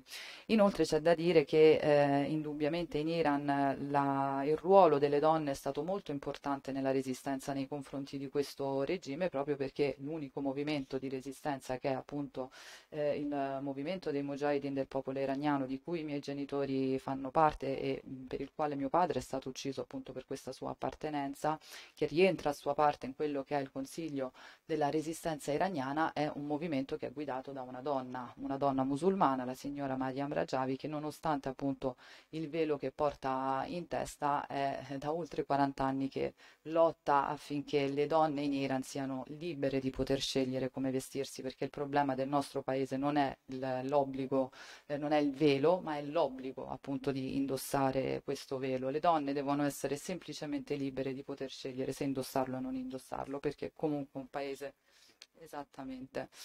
E anche se molto spesso vediamo come queste proteste vengano strumentalizzate minimizzando il tutto soltanto a una questione del velo, non è, non è quello assolutamente il problema. Quello sicuramente è stato l'elemento, ripeto, la goccia che ha fatto traboccare il vaso, ma eh, poi quando si è scoperchiato questo vaso, insomma, sono usciti fuori oltre 43 anni di eh, genocidi da parte di, eh, di questo... Di questo Esatto, e ehm, mi dispiace poi tra l'altro che in questo periodo così delicato invece il regime, come ci aspettavamo, stia portando avanti proprio una propaganda di disinformazione, una eh, campagna proprio di demonizzazione nei confronti delle, della, della, sua opposizione, appunto del Consiglio nazionale, andando così a nostro avviso veramente a eh, dare un brutto colpo proprio a quello che è il sacrificio dei nostri giovani, perché noi sappiamo per certo che in Iran la maggior parte delle proteste sono eh, condotte gestite e eh, guidate da quelli che sono i cosiddetti nuclei di rivolta, che sono eh, gruppi formati da cittadini comuni, giovani, donne, lavoratori, studenti, giovani e giovanissimi, che eh, sono appunto sostenitori di questo movimento e stanno eh, dando proprio un'organizzazione, una, una compattezza a queste manifestazioni, che ripeto è proprio per questa sua organizzazione che non va a ehm, scemare come è stato appunto nel, nel, negli anni precedenti e nonostante 700 morti, nonostante 30.000 prigionieri, nonostante le esecuzioni capitali a cui stiamo assistendo in questi giorni, continua appunto veramente questa fiamma eh, ad ardere in maniera veramente... Mh, mm, esemplare e, mm, e, penso che veramente in questo momento uh, storico sia importante uh, sostenere quella che è la resistenza del, del, del, nostro popolo. Io approfitto anche del fatto che questo programma viene comunque, questo evento viene trasmesso ehm, su Radio Radicale per eh, veramente consiglia- chiedere mh, di stare attenti un po' a quelle che sono proprio queste mh, politiche di disinformazione eh, da parte del, del regime. Purtroppo mh, eh, noi sostenitori comunque del Consiglio nazionale abbiamo sempre sostenuto il Partito Radicale, lo stesso Pannella è stato un grandissimo sostenitore della signora Mariam Rajavi e della resistenza iraniana e ci dispiace vedere come ultimamente, soprattutto dopo un, una conferenza importante che si è tenuta al Senato a cui è stata eh, invitata appunto come principale relatrice la signora Ra- eh, Rajavi, si sia scatenata proprio questa guerra eh, politica, come la definiamo noi, da parte del, eh, del regime e purtroppo abbiamo visto, come io penso in maniera comunque forse inconsapevole, alcune persone, insomma, questi, in queste manifestazioni del Partito Radicale iraniani che tenevano in mano immagini eh, della signora Rajavi con la testa rigirata che tra l'altro vanno a ricordare proprio quelli che sono anche le impiccagioni eh, in Iran e ci dispiace moltissimo di questo, mm, speriamo che insomma si tratti veramente di una, eh, di una svista perché ripeto il Partito Radicale è sempre stato a fianco eh, del popolo iraniano e della sua resistenza che mm, ripeto è rappresentato comunque dal Consiglio nazionale della resistenza iraniana. A, noi sostenitori di questo movimento abbiamo sempre voluto in realtà avere a, fianco, a nostro fianco anche altre realtà eh, di, di, opposizione. Purtroppo così non è stato, anche perché avere a che fare con il regime vuol dire avere a che fare veramente con un nemico molto molto molto potente e molto molto feroce che grazie anche alla pericolosissima politica di accondiscendenza di questi anni ha ottenuto sempre maggiore forza che ha poi utilizzato sia eh, internamente al paese ne, ne, con la repressione diciamo, nei confronti della propria popolazione ma anche eh, al di fuori dei confini con quelle che sono le attività maligne di, eh, anche di, di esportazione del del, del, terrorismo. Insomma, non dimentichiamoci che questo regime, attraverso un suo diplomatico eh, Asadollah Sadi eh, nel 2018 aveva trasportato un esplosivo con un volo di linea da Teheran appunto a se non, eh, se non sbaglio a Bruxelles, per poi portare questo esplosivo a un summit annuale che si teneva appunto ogni anno a Parigi della, dell'opposizione iraniana e che fortunatamente è stato comunque sventato come attentato, se no io personalmente non sarei stata qui, ma eh, come me moltissimi altri anche personaggi e personalità politiche, eh, se non sbaglio forse anche, non mi ricordo, la Zamparutti o Sergio De Lì erano presenti in quel in, eh, in, quel summit per dire che comunque veramente questo è un regime molto pericoloso con eh, il quale bisogna assolutamente interrompere questa politica di accondiscendenza. Siamo contentissimi che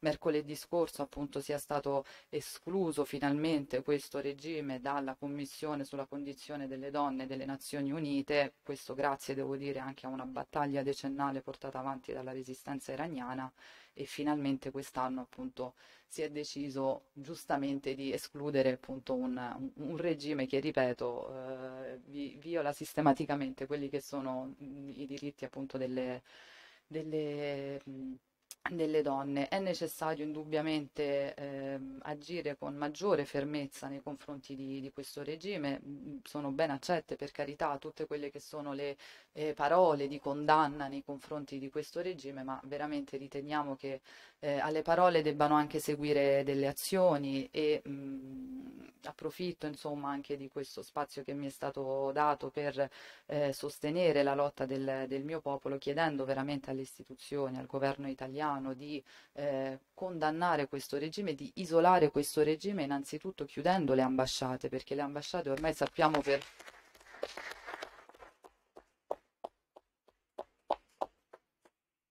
Le ambasciate purtroppo sappiamo per certo che sono veramente dei centri di, di, di spionaggio, eh, moltissimi dei nostri giovani in queste manifestazioni vengono controllati dal, dagli agenti di queste, di queste ambasciate e poi sono anche dei centri da dove poi vengono organizzati questi attentati che non vanno a minare soltanto la sicurezza di noi iraniani esuli e dissidenti, ma di, anche della popolazione occidentale, italiana o comunque europea, quello che sia e è necessario poi inserire quello che è il corpo delle guardie della rivoluzione nella lista dei terroristi perché veramente sono loro che stanno uccidendo in maniera indiscriminata i nostri giovani, fino adesso ne sono stati uccisi, ripeto, 700, ne sono arrestati, eh, sono stati arrestati oltre 30.000 manifestanti.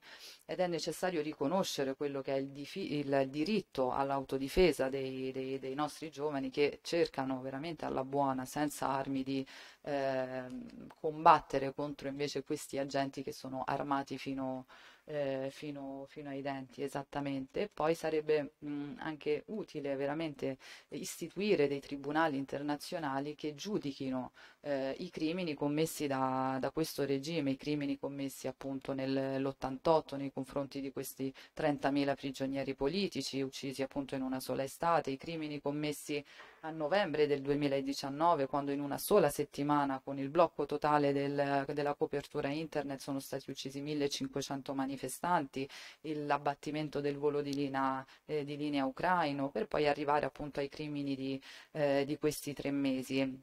Quindi veramente è necessario isolare totalmente questo regime eh, interrompere qualsiasi forma di rapporto diplomatico perché la, la, storia ha dimostrato veramente che questa politica di accondiscendenza non ha mai portato a nulla se non a rafforzare appunto il, eh, il, il regime e eh, chiediamo appunto veramente di ehm, sostenere la nostra popolazione cercando di essere la eh, loro voce. Questo, ripeto, si può farlo solo se si isola totalmente questo, questo regime e se se i funzionari, eh, i principali funzionari rappresentanti di questo, di questo regime vengono trascinati di fronte a un tribunale internazionale. Ci tengo appunto anche a ricordare che lo stesso presidente attuale, l'attuale presidente Raisi, era uno dei membri della cosiddetta eh, commissione di morte che appunto nell'88 dietro a dei processi lampo in cui queste persone non avevano neanche un legale e in cui si chiedeva semplicemente se erano disposti a rinnegare la loro lotta e a collaborare con il regime, ovviamente tutti quanti rispondevano di no, queste persone venivano portate appunto al, eh, al patibolo. Quindi io volevo veramente soltanto eh, fare un po' un punto della situazione di quella che è la situazione in Iran e dire che veramente sta avvenendo una seconda rivoluzione affinché questa rivoluzione arrivi al suo obiettivo, cioè al rovesciamento di questo regime per, per l'instaurazione di una repubblica democratica, perché poi il nostro popolo, anche da quello che dicono gli slogan, non hanno assolutamente intenzione di rovesciare questo regime per ritornare come molti vorrebbero al, ad esempio alla dittatura monarchica precedente, che era comunque una forma di dittatura dittatura più che feroce. La nostra popolazione, dopo oltre un secolo di battaglie per la, per, nei, nei, confronti delle dittature, vuole appunto l'istituzione di una repubblica eh, democratica in cui la sovranità appunto sia del, del, popolo, né del leader supremo come adesso con Khomeini, né dello Shah come era in passato. Ringraziamo tutti i relatori, eh, in particolare voglio ringraziare Casà perché insomma, l'emozione di sentire una voce che racconta di queste storie insomma, è, è, sempre molto forte, sempre molto forte. Comunque io adesso ci sarà Alessandro che gestirà il proseguo di questa iniziativa. Grazie.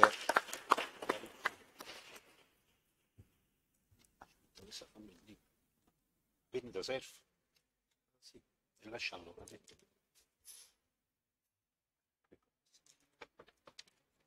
No, basta. Sì, sì.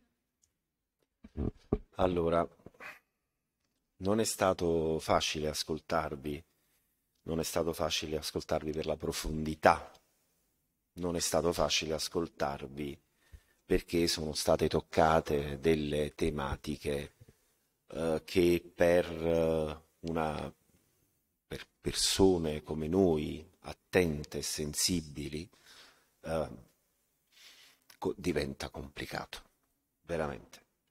Allora io mm, voglio un attimo spezzare no, questo incantesimo di dolore e eh, voglio fare un po' di cronaca. Prima Gazal ha parlato di una eh, eliminazione importante, e cioè quella dell'espulsione dell'Iran in sede ONU dalla Commissione Donne Pensate che bello, all'ONU c'è una commissione donne. Io voglio dirvi una cosa, vi faccio un elenco delle, degli stati che hanno votato contro Cina, Russia, Kazakistan, Nicaragua, Nigeria, Oman, Zimbabwe e Bolivia. Questi sono gli stati che hanno avuto il coraggio di votare contro una risoluzione che, voglio dire, sai, quando si suol dire l'assegno firmato in bianco, cioè doveva trovare. E poi però ce ne sono altri 14 che si sono astenuti. Ancora peggio. E ovviamente sappiamo quali sono. Sono questo cerchio magico delle grandi autocrazie che ci circondano, tra cui si annovera ovviamente il Venezuela, eccetera. Ed è proprio quello di cui parlava Enzo all'inizio, cioè di questo legame. Questi signori di queste autocrazie, dittature, chiamiamole come vogliamo, sono molto bravi a fare rete tra di loro. Sono bravissimi.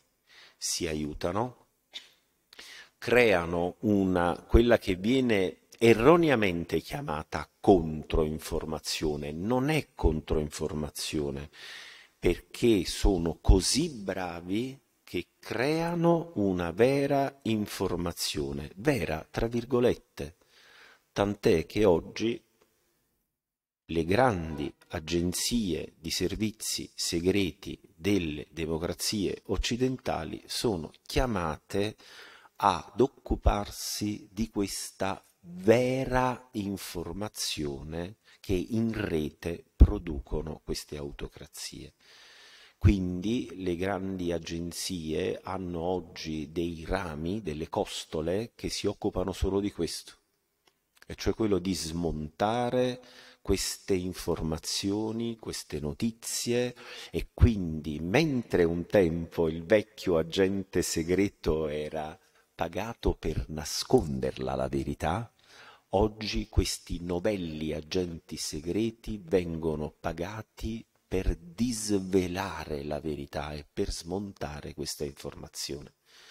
Uno degli agenti segreti più importanti al mondo, che si occupa solo di questo, porta un nome singolare, famoso, si chiama Fleming di cognome, per chi è appassionato come me di letteratura di genere sa bene chi, che cosa ha scritto questo autore un po' di anni fa. Ebbene, questo agente segreto, che però segreto non è, è un agente dell'MI6, si occupa solo di questo, va in giro per il mondo a fare consulenze, a fare convegni, a, va a parlare ai parlamenti e dice oggi noi dobbiamo stare attenti perché ci propinano una verità che tale non è.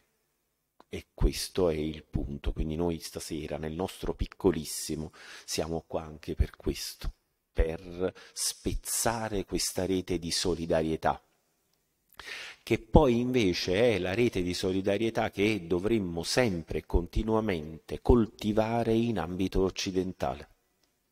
Ed è quella rete che poi abbiamo visto che oggi per esempio, vede unito il mondo occidentale nell'aggressione che subiscono gli ucraini. Per esempio, ecco, lì noi notiamo una reazione forte del mondo occidentale. Ma di esempi ce ne sono alcuni, non tantissimi, però quello è l'esempio che dovremmo sempre percorrere, cioè il mondo occidentale deve necessariamente unirsi e deve unirsi proprio basandosi su quei valori di cui ci ha parlato prima Bruno, che sono i valori delle nostre Costituzioni. Non ce lo dimentichiamo mai, quelle Costituzioni sono state scritte all'esito di tanto sangue versato. Non ce lo dimentichiamo mai. Siamo anche qui stasera in un palazzo i cui eh, esponenti, come vedete, un palazzo meraviglioso, questo era un, era un salone dove si facevano le feste, si chiama appunto Salone degli Specchi. Ebbene, il, il, un avo, il fratello del principe Serra di Cassano, eh, fu ucciso, fu giustiziato perché insieme ad altri si era fatto protagonista, promotore di una rivoluzione, quella che noi conosciamo come rivoluzione partenopea, quella del 1799. Quindi questa storia, come vedete, continua di queste persone che vengono appese per il collo ed è dura, è dura perché c'è sempre, come ci ricordava Vincenzo, c'è sempre questa speranza, questa dimenticanza che certe cose possano non accadere più. E allora semmai alle volte facciamo finta di non vedere. Questa è la verità. Perché poi ricordiamo, noi che abitiamo in zona, vediamo un portone chiuso da due secoli, ed è un portone chiuso quello di questo palazzo, per protestare contro l'impiccagione del fratello del principe di Serra di Cassano. Quel portone non è stato mai più riaperto ed è una forma di protesta della famiglia. Però poi intanto ci giriamo, vediamo Gasalla, Gasalla verso il padre, 1988, giusto? Ma voi immaginate uccidere 30.000 persone in un'estate, che cosa significa? 30.000 persone in un'estate. Io non lo so. Allora, cominciamo con degli interventi brevi, massimo 5 minuti, degli amici e delle amiche che ci hanno voluto eh, fare, mh, mm, come dire, rendere veramente ai quali siamo, siamo grati eh, perché sono qui, qualcuno è venuto da lontano sfidando il, lo sciopero dei treni, Gasal per esempio è una di queste. e quindi io comincio sicuramente, darò prima di tutto la parola alle donne. La prima donna a cui do la parola è una mia carissima amica romana, ehm, cercher, cercherò di non elencare le cariche, ma chiamerò le persone per nome e per cognome. Eh, anche se, come avete visto in locandina, ci sono del, dei simboli ai quali siamo tutti quanti molto legati. Però oggi siamo qui come persone, come individui e come cittadini, proprio quelli delle nostre Costituzioni. Maria Chiara Ruzza.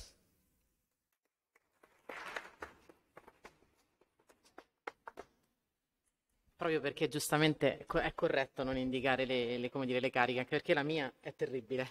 Eh, però io comunque sono qui e saluto tutti da parte di Movimento Forense, questo si può dire, quindi sono in rappresentanza di chi rappresenta Movimento Forense, ringrazio Alessandro e Manuela per aver organizzato e insomma tutti voi comunque per essere presenti.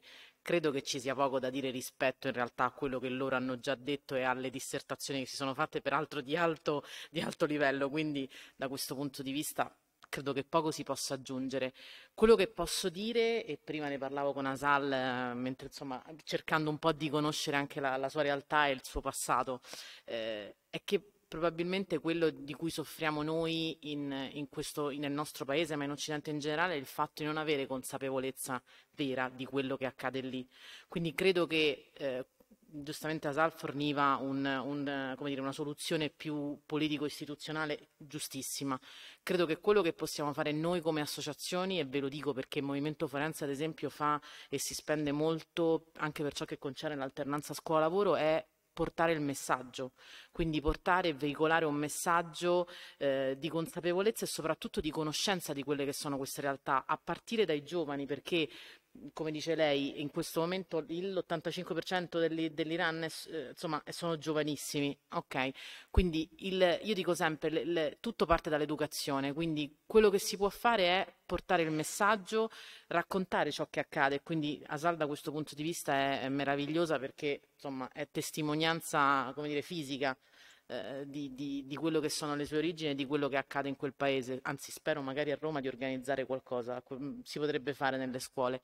Quindi ecco, io diciamo che i miei cinque minuti li sintetizzo perché ho il dono della sintesi, diciamocelo Gargiulo. E, no come Alessandro che se parla parla 96.000 minuti, però va bene. Non gli vogliamo bene lo stesso.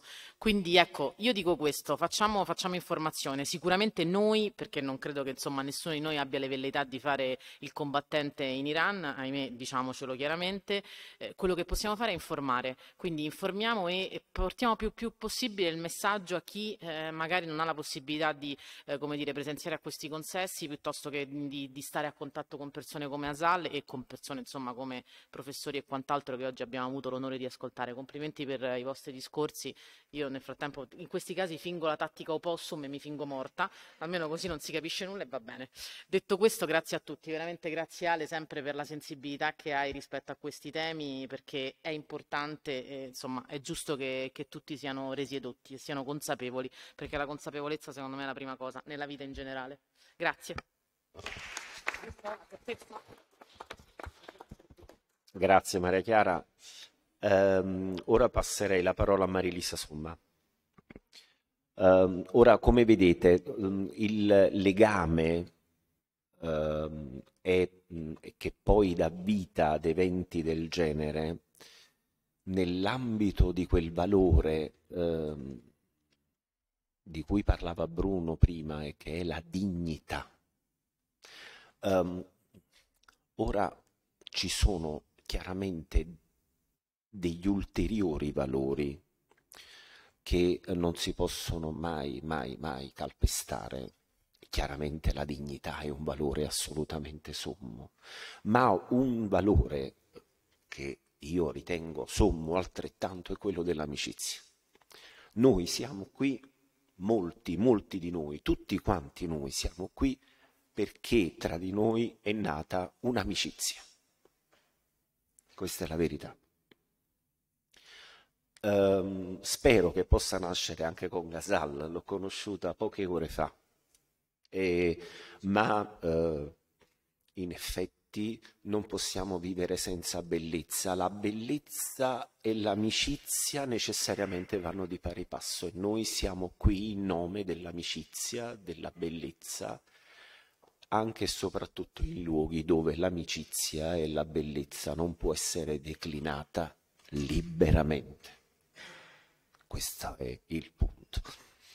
E allora ehm, ehm, vedo lì no, un mio grande amico, Vincenzo Improta, no? ci passiamo sempre no, questo testimone continuamente, poi ci mettiamo in treno, facciamo le cose, andiamo ad opera, andiamo nelle carceri, andiamo a parlare con gli ergastolani ostativi.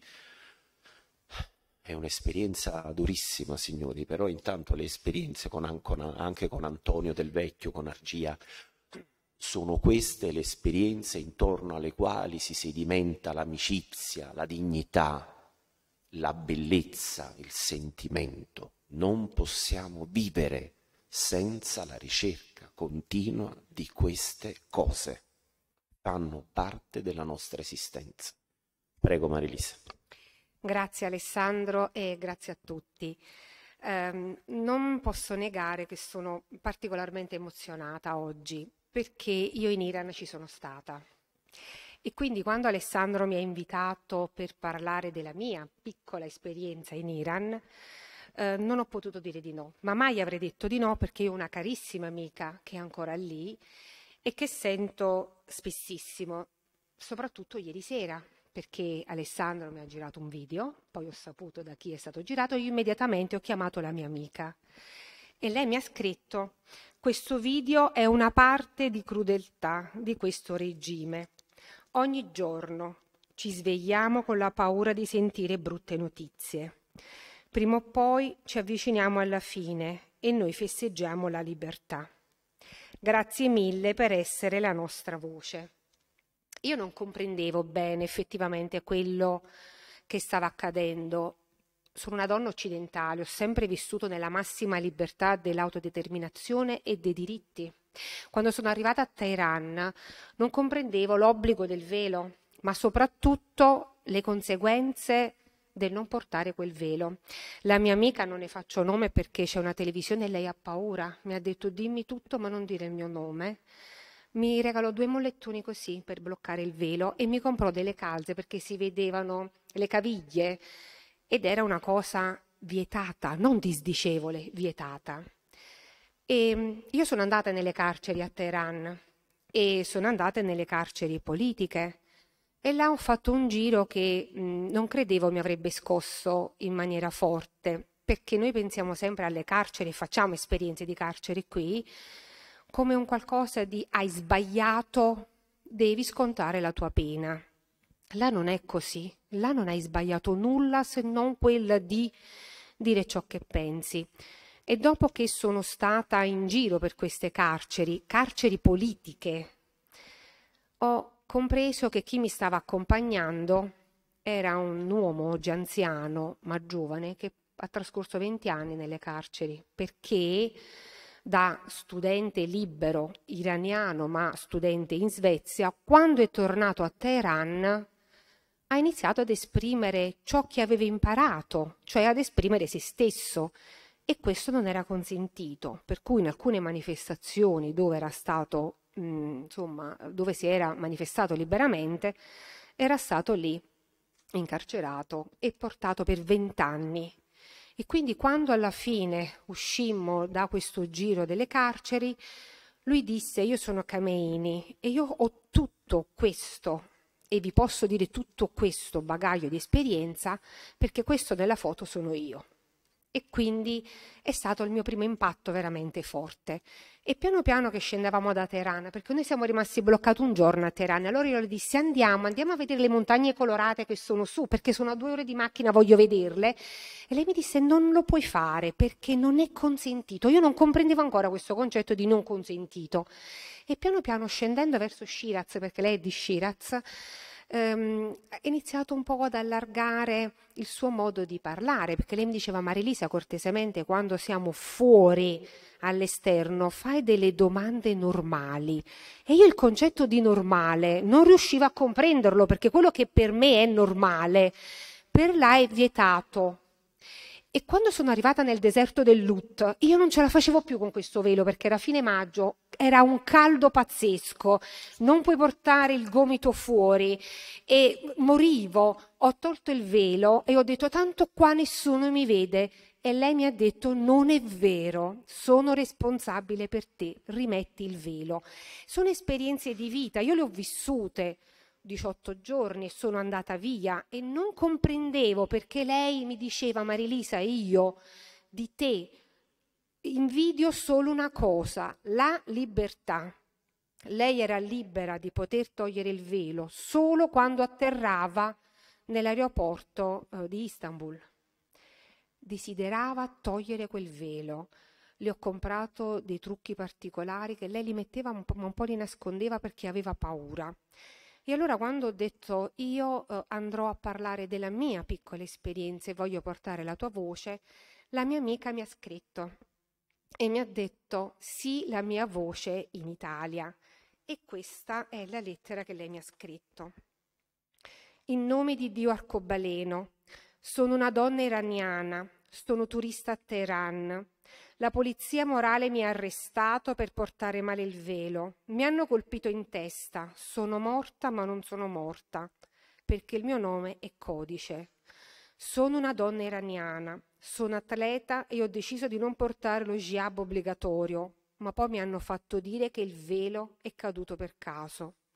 Sono una donna iraniana, sono avvocatessa, mi hanno messo in prigione per difendere le persone innocenti. Sono una donna iraniana. Hanno ucciso mio figlio di dieci anni davanti ai miei occhi. Poi mi hanno minacciato con la vita di mio marito per non dire niente. Sono una donna iraniana. Sono morta e sto guardando mia piccola figlia piangendo davanti alla tomba, stringendo la terra. Sono una donna iraniana. Hanno messo a morte il mio fratello innocente. Mi hanno arrestato con mia figlia di tre anni. Mia madre urlava in strada per avere notizie di me, ma rimane senza nessuna risposta. Io sono Masha, Gina, Nika, Sarina, Elnaz, Adis, Bavan, Roya, Nasrin, Narges, Atena, Armita, Elman, Minu. Sono una donna iraniana e ho mille nomi. Io sono una donna iraniana, come tante altre, diverse da tutte. In tutti questi brutti giorni, di che cosa posso parlare? di bambini uccisi davanti ai nostri occhi, ma l'UNICEF non li vede e non parla di loro, perché ha paura che chiudano il loro ufficio in Iran, di giovani pieni di vita con tanti sogni ma tutti morti, di figli rimasti senza parenti o madre e padri senza figli, delle lacrime che non ci lasciano, la tristezza che stringe i cuori e la rabbia che ci fa continuare. Ma devo parlare di diritti naturali che non ci sono, la libertà che non c'è, la vita che non viviamo. E le donne sempre sotto pressione più di tutti gli altri. Quello che sta succedendo in Iran è una rivoluzione, un rinascimento iraniano, per avere i diritti naturali, per avere giustizia, uguaglianza, pace, sicurezza e benessere. Tutto è cominciato da parte delle donne coraggiose e forti con il codice Mashameni e lo slogan Donna, vita, libertà. Non c'è altra via che la vittoria. E a tutte le donne iraniane la mia amica dedica queste parole. Grazie.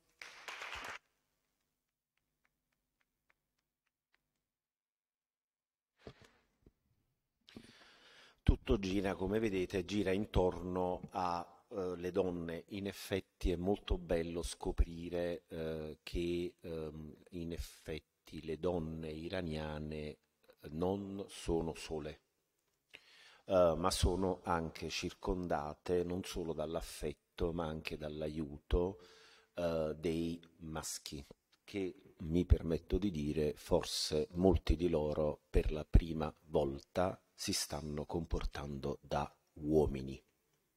Forse è questo e quello che sta accadendo oggi in Iran. Però comunque molto piacevole, è molto bello. Una società misogina vede oggi le donne combattere ed a fianco a loro ci sono gli uomini. Evidentemente qualcosa sta cambiando. Perlomeno c'è speranza che questo possa cambiare. La speranza è un concetto al quale siamo molto legati ed è il concetto proprio paolino, proprio quella spes contra spem che possa aiutare l'uomo a trasformarsi egli stesso in speranza per poter andare oltre ciò che appare impossibile. Ed è quello che stanno facendo le donne e gli uomini iraniani in questo momento. È un concetto cristiano, quello al quale io mi affido, mm, ed è un concetto che ha declinato per primo un grande, importante cristiano che era San Paolo di Tarso, ma credo che lo spes contra spem sia, possa essere un concetto assolutamente universale assolutamente. Ed è quello, diciamo, che eh, ci porta appunto anche a stare qui stasera mh, mm, a parlare di temi molto dolorosi. E ora la parola la passo a Manuela Palombi.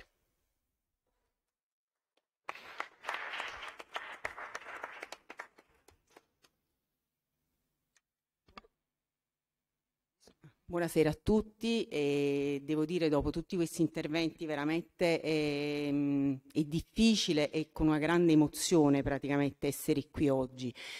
Io mh, avendo ascoltato diciamo, questi interventi mi ritrovo molto, mi ritrovo molto con eh, l'associazione Forti Guerriere di cui faccio parte e di cui porto i saluti al Presidente che purtroppo ha avuto un imprevisto al lavoro e quindi chiaramente vi lascia i saluti. Eh, parto proprio da, mh, mm, da, quello che ha detto mh, mm, il professore De Maria quando parla di eh, consapevolezza, parla di dignità. E quindi proprio per questo quello che noi riteniamo con l'associazione Forti Guerriere e poi con questo tema proprio di violenza, di violenza sulle donne, che è un tema chiaramente trasversale, quindi non riguarda soltanto chiaramente in questo momento le donne dell'Iran, ma riguarda un po' eh, la violenza in generale quando è che si esce appunto dalla, dalla, violenza? Quando la donna, come diceva il professore De Maria, acquisisce quella consapevolezza di voler fuoriuscire appunto dalla violenza. Quando parla di dignità, di dignità, quindi riappropriarsi della dignità, anche di una dignità proprio economica anche, perché poi è quella la problematica proprio della violenza. Io, mh, mm, come diceva Alessandro, diciamo anche con le forti guerriere, la violenza non è soltanto donna, ma la violenza vede anche la partecipazione di tanti uomini, come nell'associazione Forti Guerriere. Noi abbiamo molti uomini che fanno parte dell'associazione, tra cui anche Alessandro. E proprio con Alessandro abbiamo fatto questo progetto e questo percorso e stiamo portando le Forti Guerriere nelle carceri proprio a... Um, parlare delle loro esperienze personali, a far capire anche agli uomini quello che loro hanno vissuto e vivono quotidianamente, che è poi la cosa più importante. Io devo dire, mi ha molto emozionato questa lettera di questa amica di Marilisa perché ho ritrovato veramente tante donne quando vengono allo studio che chiedono aiuto e quindi anche in questo senso veramente c'è, una, c'è proprio una vicinanza. Quindi Alessandro io penso che ci dovremmo anche diciamo, fare promotori e promotrici di portare anche queste storie alla sanità, perché sicuramente le forti guerriere che oggi non sono potute venire, ma è molto importante anche farle ascoltare queste storie. Io ho mm, il dono della sintesi come Maria Chiara, quindi vi lascio i saluti e vi ringrazio. Tutto, tutto, tutto preferibilmente ci si auspica possa ruotare intorno all'amicizia e quella con la donna che da poco si è alzata è un'amicizia che va avanti da circa 40 anni.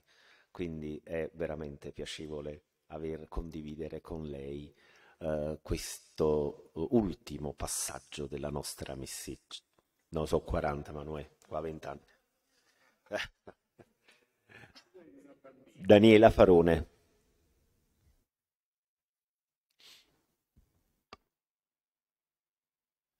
Mentre Daniela si appresta, ci sono due donne alle quali io mi sono sempre ispirato, sempre, continuamente. Una è, una, è un personaggio di fantasia, eh, si chiamava Penelope, e un altro invece non è un personaggio di fantasia e si chiamava Maria.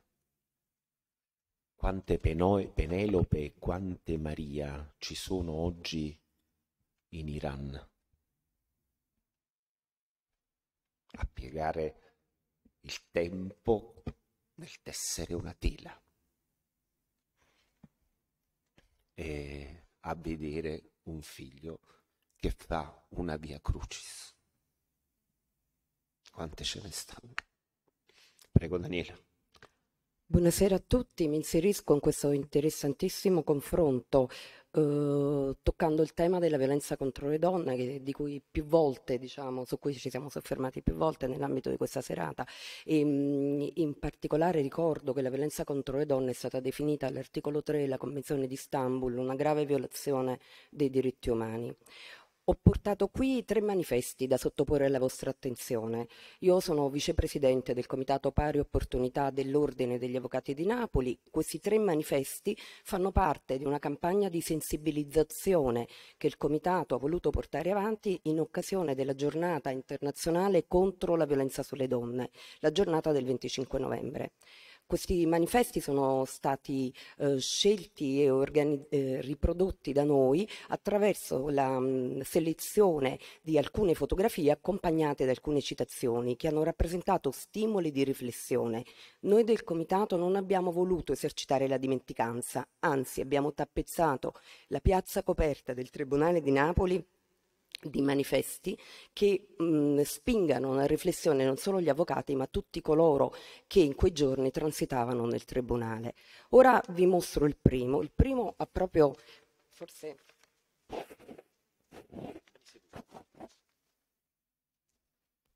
allora, il primo, ehm, come potete vedere raffigura donne eh, che eh, si, per le vie di Teheran che mostrano foto di Masha Amini. Come prima ne è stato già sottolineato, Masha Amini è una giovane 22enne iraniana che è stata eh, prima arrestata dalla polizia morale per avere male indossato il velo e successivamente mh, eh, è morta in carcere per le percosse ricevute dalla polizia morale. Uh, sulla sua lapide inciso il tuo nome diventerà la chiave.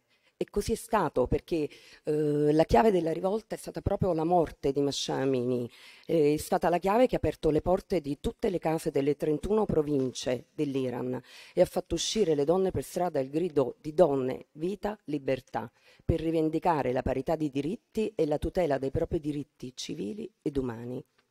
Ora anche la voce di un'altra donna in seguito alla morte di Masha Meni si è elevata ed è quella di una ehm, iraniana, avvocata, leggo il nome perché per me è difficile ricordarli, Shirin Ebadi, premio Nobel 2003 per la pace, che ha rivolto un appello all'ONU e proprio l'ONU ha recepito una delle sue richieste, proprio come Alessandro in questi giorni ehm, precedentemente insomma, ha comunicato, perché eh, l'ONU ha espulso dalla um, Commissione per lo status delle donne l'Iran. Questa è una delle commissioni più importanti dell'ONU e, manifesta, e manifestare diciamo, l'espulsione di questo paese attesta un coinvolgimento dell'ONU, che è l'organismo certamente più adatto ad intervenire, in quanto nel 2015 ben 193 paesi hanno firmato l'agenda 2030 ONU.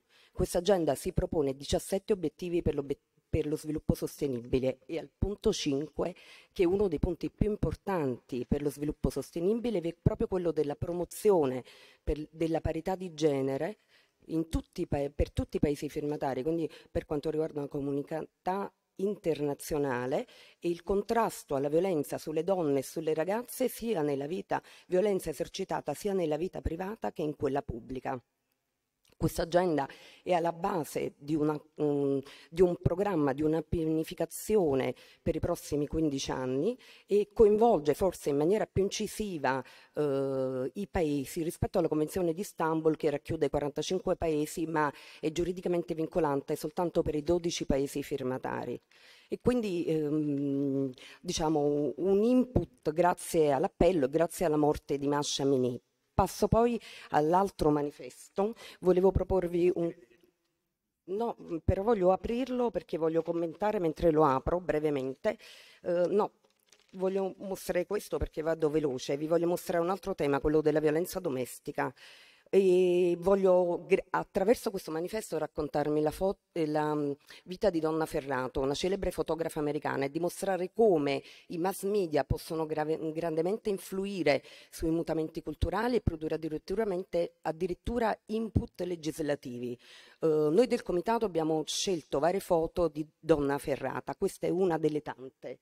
Uh, questa fotografa americana per circa dieci anni ha lavorato sui temi della violenza di genere ed ha seguito come reporter gli agenti di polizia al momento dell'arresto, anche negli ospedali, si è recata, ehm, ha raccolto le testimonianze, ha fotografato donne vittime di abusi e di violenza. Poi ha racchiuso tutte queste fotografie e il materiale da lei raccolto in un libro, Living with the Enemy. Questo libro è stato tradotto in molte lingue e ed è stato anche, eh, ha venduto più di 40.000 copie in tutto il mondo. E, mh, mm, successivamente Donna Ferrata è diventata un'attivista dei diritti delle donne, con la sua raccolta fotografica si recò da Hillary Clinton durante la presidenza Clinton e mh, sensibi, scusatemi, sensibilizzandola sul tema e mostrandole i risultati di questa sua inchiesta fotografica che ha fatto il giro del mondo. E in seguito alla stimolazione ricevuta, Hillary Clinton si è resa promotrice di quello che è la più grande e recente normativa americana sul contrasto della violenza di genere, il um, Violence Against Women Act. E quindi eh, con questo manifesto ho voluto soltanto eh, dimostrare e ricordare come quanto la comunicazione non verbale e anche forme di e campagne di sensibilizzazione intelligentemente portate avanti possano contribuire a provocare quel mutamento culturale essenziale per raggiungere la parità di genere e il riconoscimento dei diritti umani e politici in tutto il mondo. Grazie Daniela. Come succede di solito, eh, l'ultima a parlare, come donna, perché poi invece passiamo agli interventi maschili, è eh, la nostra amica Argia di Donato. Prego Argia.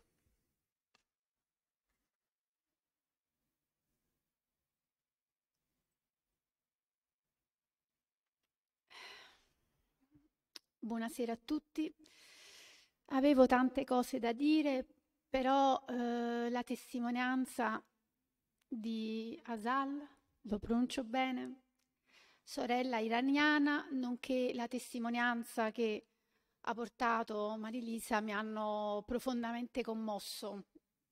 Non ho potuto eh, trattenere le lacrime anche in questa sala, perché le parole si schiantano di fronte alla drammaticità di quello che trasmettono le parole di chi sta vivendo questo dramma eh, di dolore che è un incubo che noi non possiamo immaginare neanche, per quanto l'immaginazione, come diceva il um, carissimo filosofo che ho apprezzato tanto, la ringrazio veramente per le, per le parole che ha detto quest'oggi, per quanto l'immaginazione appunto ci rende simili agli dei e quindi la nostra capacità di essere divinità, proprio per ricollegarmi al discorso del raggiungimento di quell'umanità, è resa monca da queste testimonianze. Io voglio ringraziare eh, Alessandro e Manuela che hanno organizzato questo incontro perché tutti i momenti di confronto e di riflessione sono importanti non solo per gli altri ma eh, principalmente per noi che li viviamo in prima persona.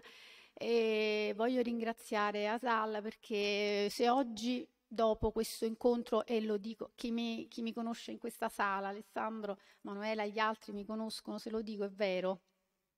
Se oggi dopo questo incontro sono un'argia un po' diversa e anche e soprattutto grazie a loro che mi hanno naturalmente sollecitato questa emozione forte.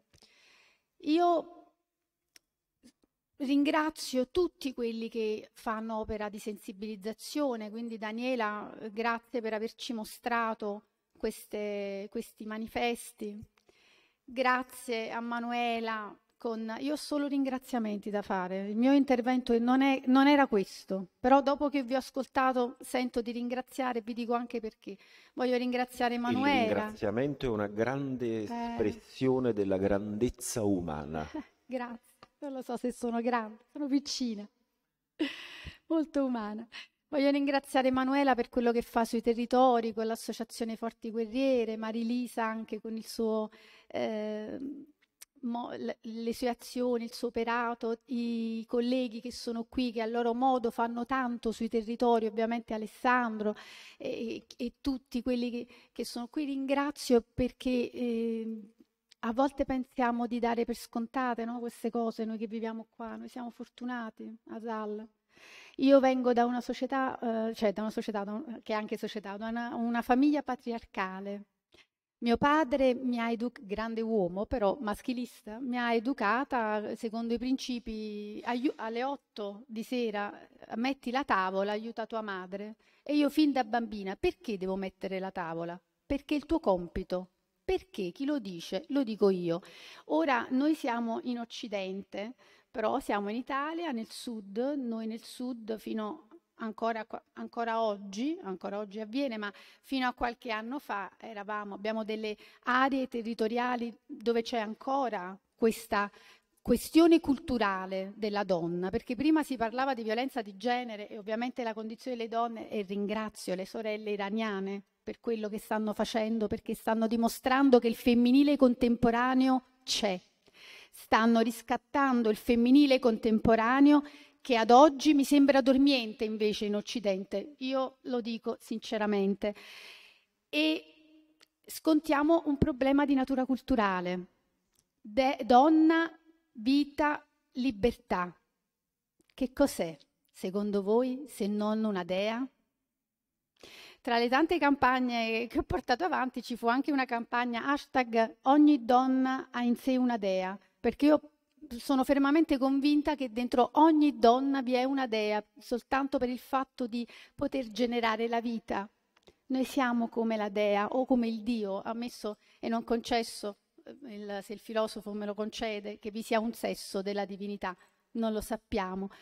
Però Ogni donna in sé è una dea e quindi dobbiamo ricordarlo non come principio di superiorità nei confronti dell'uomo, questo mai, perché la parità di genere sono discorsi giusti, ma nella, eh, diciamo in un quadro ideologico politico e che ovviamente la nostra società eh, attraversa, ma credo che l'uomo e la donna debbano percorrere insieme la stessa via e la donna il potere, diciamo, riesce dove l'uomo non riesce, cioè portare la luce perché porta la vita. E quindi l'uomo va indirizzato in un certo qual senso e affiancato.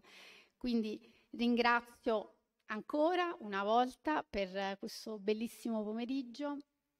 Sono molto emozionata e sicuramente da questo scaturirà qualcosa di qualche elaborato poetico sicuramente uscirà. Grazie. Grazie Argia.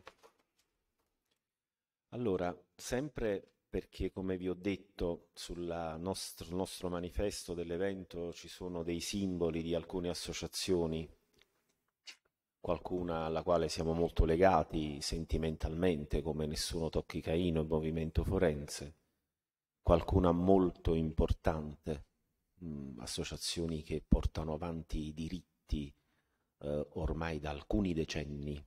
E una di queste associazioni è eh, la Camera Penale e l'Unione delle Camere Penali Italiane.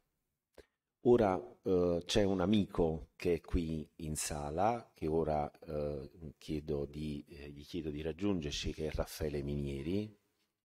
Raffaele è uno di quegli amici dove io con dei brevissimi messaggi su WhatsApp lo coinvolgo e lui è qui, come vedete, a portarci la sua testimonianza. Oggi, vi dicevo, ci siamo spogliati dei titoli, ci siamo spogliati dei simboli. Raffaele è qui è come amico, è come individuo, è come persona, è come cittadino, perché questo è il nostro compito oggi. Prego Raffaele, grazie. Grazie Alessandro, grazie dell'invito che è sempre gratitissimo. Ringrazio Radio Radicale perché tra le varie cose eh, il mia, il mio amore per il mondo radicale continua a essere vivo negli anni passati a Torre Argentina dove si discuteva tanto della, della questione iraniana. Mi fa molto piacere essere in questa sala perché una delle più belle volte in cui sono stato qui c'era uh, la presentazione del libro Ius di Aldo Schiavone e eh, in quell'occasione si parlava del diritto come forma di manifestazione e come forma d'ordine del reale. Io credo che eh, tu facevi riferimento alla dignità come elemento, come valore, ma noi non dobbiamo mai dimenticare che la dignità è all'articolo 1 della Carta di Nizza posta come eh, diritto superiore fin anche rispetto alla, alla, vita, perché la vita è soltanto se c'è dignità.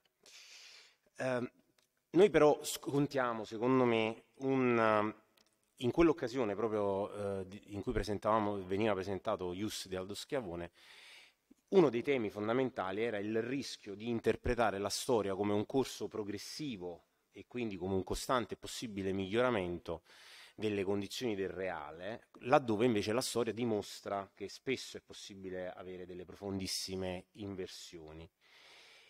Quello che ad oggi noi abbiamo, e mi, mi, ha fatto piacere che vi è stata una testimonianza diretta di, eh, che lo ha detto chiaramente, quello che noi abbiamo costruito come società occidentale, ma anche in seno all'ONU, è stato un frutto di una grandissima ipocrisia e secondo me noi ce lo dobbiamo dire.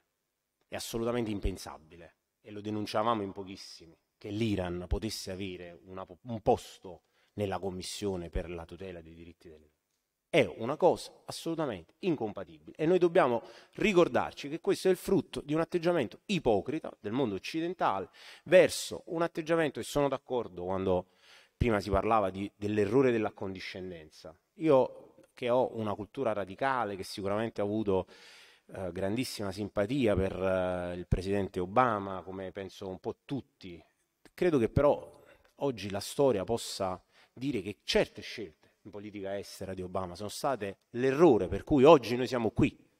Ed è un errore che non è frutto di Obama in sé in quanto tale, ma è frutto di una politica di accondiscendenza e di pensare che sia possibile trattare con persone che non hanno alcun senso di rispetto dei valori fondamentali a cui facevi riferimento tu.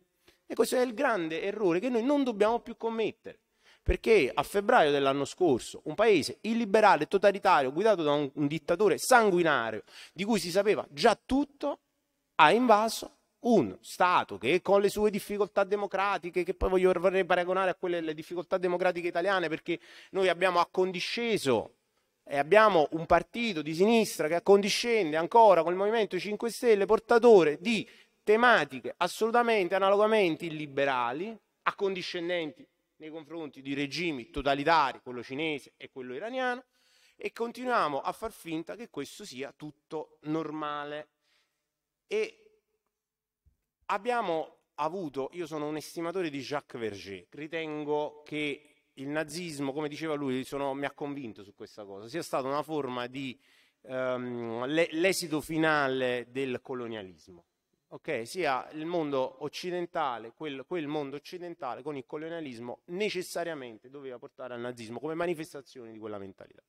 Però è anche vero che a un certo punto noi dobbiamo anche immaginare che quando si parla di esportare la democrazia e si è imputato a un certo atteggiamento, sicuramente sbagliato, io dico da radicale, eh, perché in quegli anni che Pannella, unico nel mondo occidentale, denunciava Tony Blair e George Bush rispetto all'invasione in Iraq basata su quello che poi diventerà la battaglia per il diritto alla conoscenza, io c'ero e quindi non voglio rivendicare il concetto, la correttezza di un eventuale concetto di esportare la democrazia, però attenzione, perché io immagino che in Iran oggi, così come in Ucraina oggi, l'apporto del mondo occidentale che poggia su idee di libertà e che purtroppo passano per una difesa armata della libertà, io credo che oggi senza l'effettivo supporto del mondo occidentale che deve passare prima di tutto per l'isolamento, ma non, purtroppo dobbiamo dirci che potrebbe non essere sufficiente,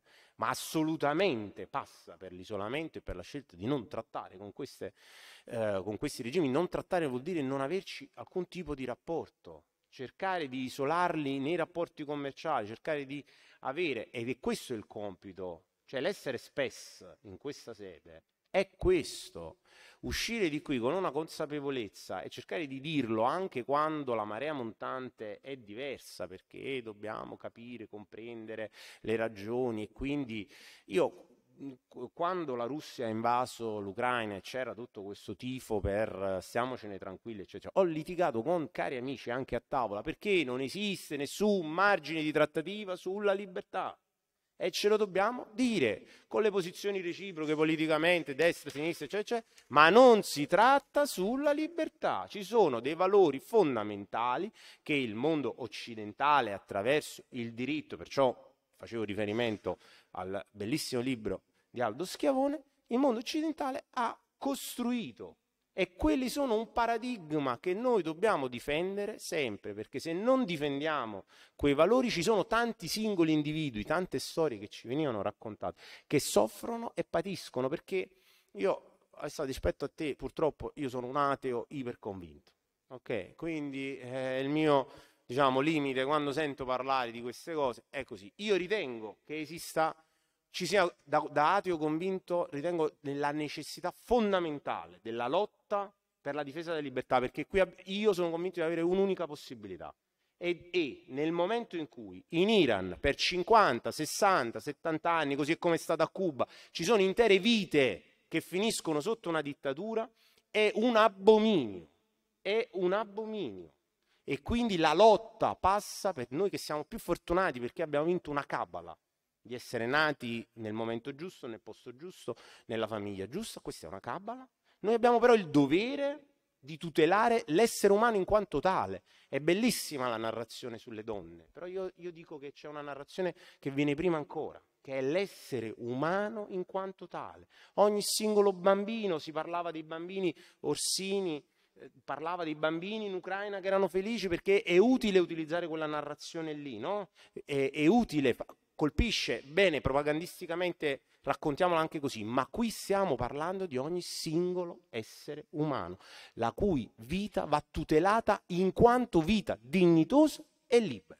Al di fuori di questo, secondo me, non c'è alcun tipo di ragionamento e quindi e, e mi, fa, mi, fa, veramente piacere di sentire quello che secondo me è, era il ragionamento che avrei portato e che sto portando, ma è della impossibilità di accondiscendere e della necessità di imputare all'ONU e a un, a un, certo modo di intendere la politica, a certi ambienti culturali, un atteggiamento assolutamente incompatibile con gli stessi presupposti che sono fondamenta del loro nascere. Chiudo con questo.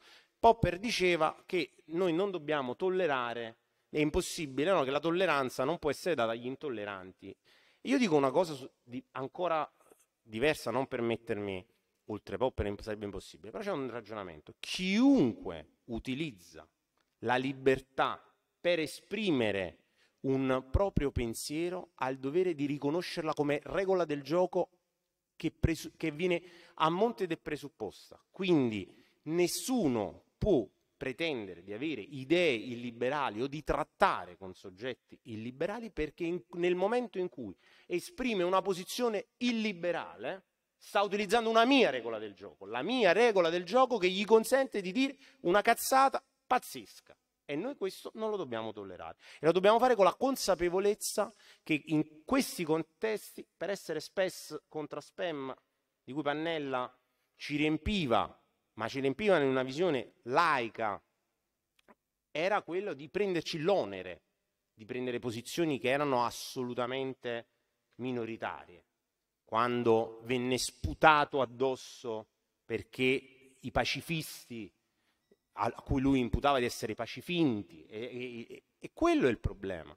Noi è mancato tantissimo nella cultura occidentale, in un certo mondo, in un certo ambiente che si è arrogato il diritto di essere primazia culturale, lo dico da persona che si riconosce in valori tendenzialmente di sinistra, ma di un certo tipo di sinistra,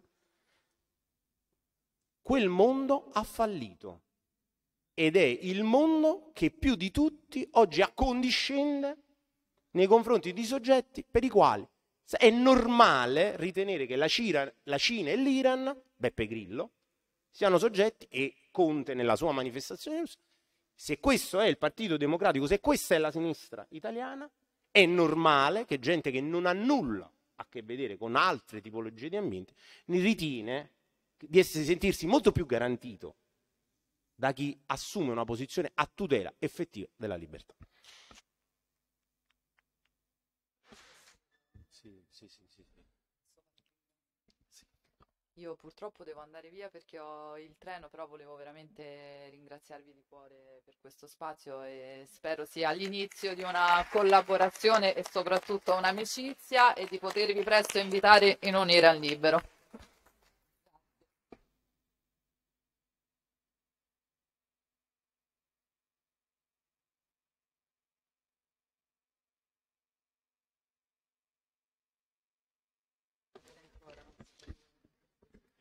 L'evento non è finito, eh, anche perché ci sono gli ultimi due interventi molto importanti ai quali tengo moltissimo. Ora devo spendere qualche minuto innanzitutto per ringraziare Raffaele, Raffaele Minieri, perché Raffaele tocca un argomento che a me, a Vincenzo, ad Antonio ci sta molto a cuore, quindi ti ringraziamo Raffaele, ti ringraziamo. Ed anzi io su questa scia, sulla tua scia che tu hai appena battuto e hai appena segnato, io vorrei permettermi di consigliare una lettura. Ed è un libricino eh, che, al quale, eh, che ovviamente mi ha suggerito il mio amico Vincenzo Improta, scritto da Jean-Louis Aruel, si chiama I diritti dell'uomo contro il popolo. Che cosa sono?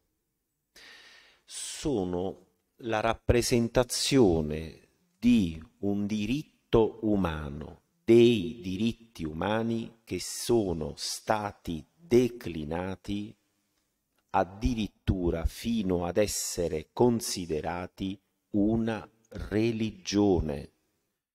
Quindi questa tutela così totale di questi diritti umani ci ha fatto completamente perdere la bussola, la bussola Raffaele di cui tu parlavi.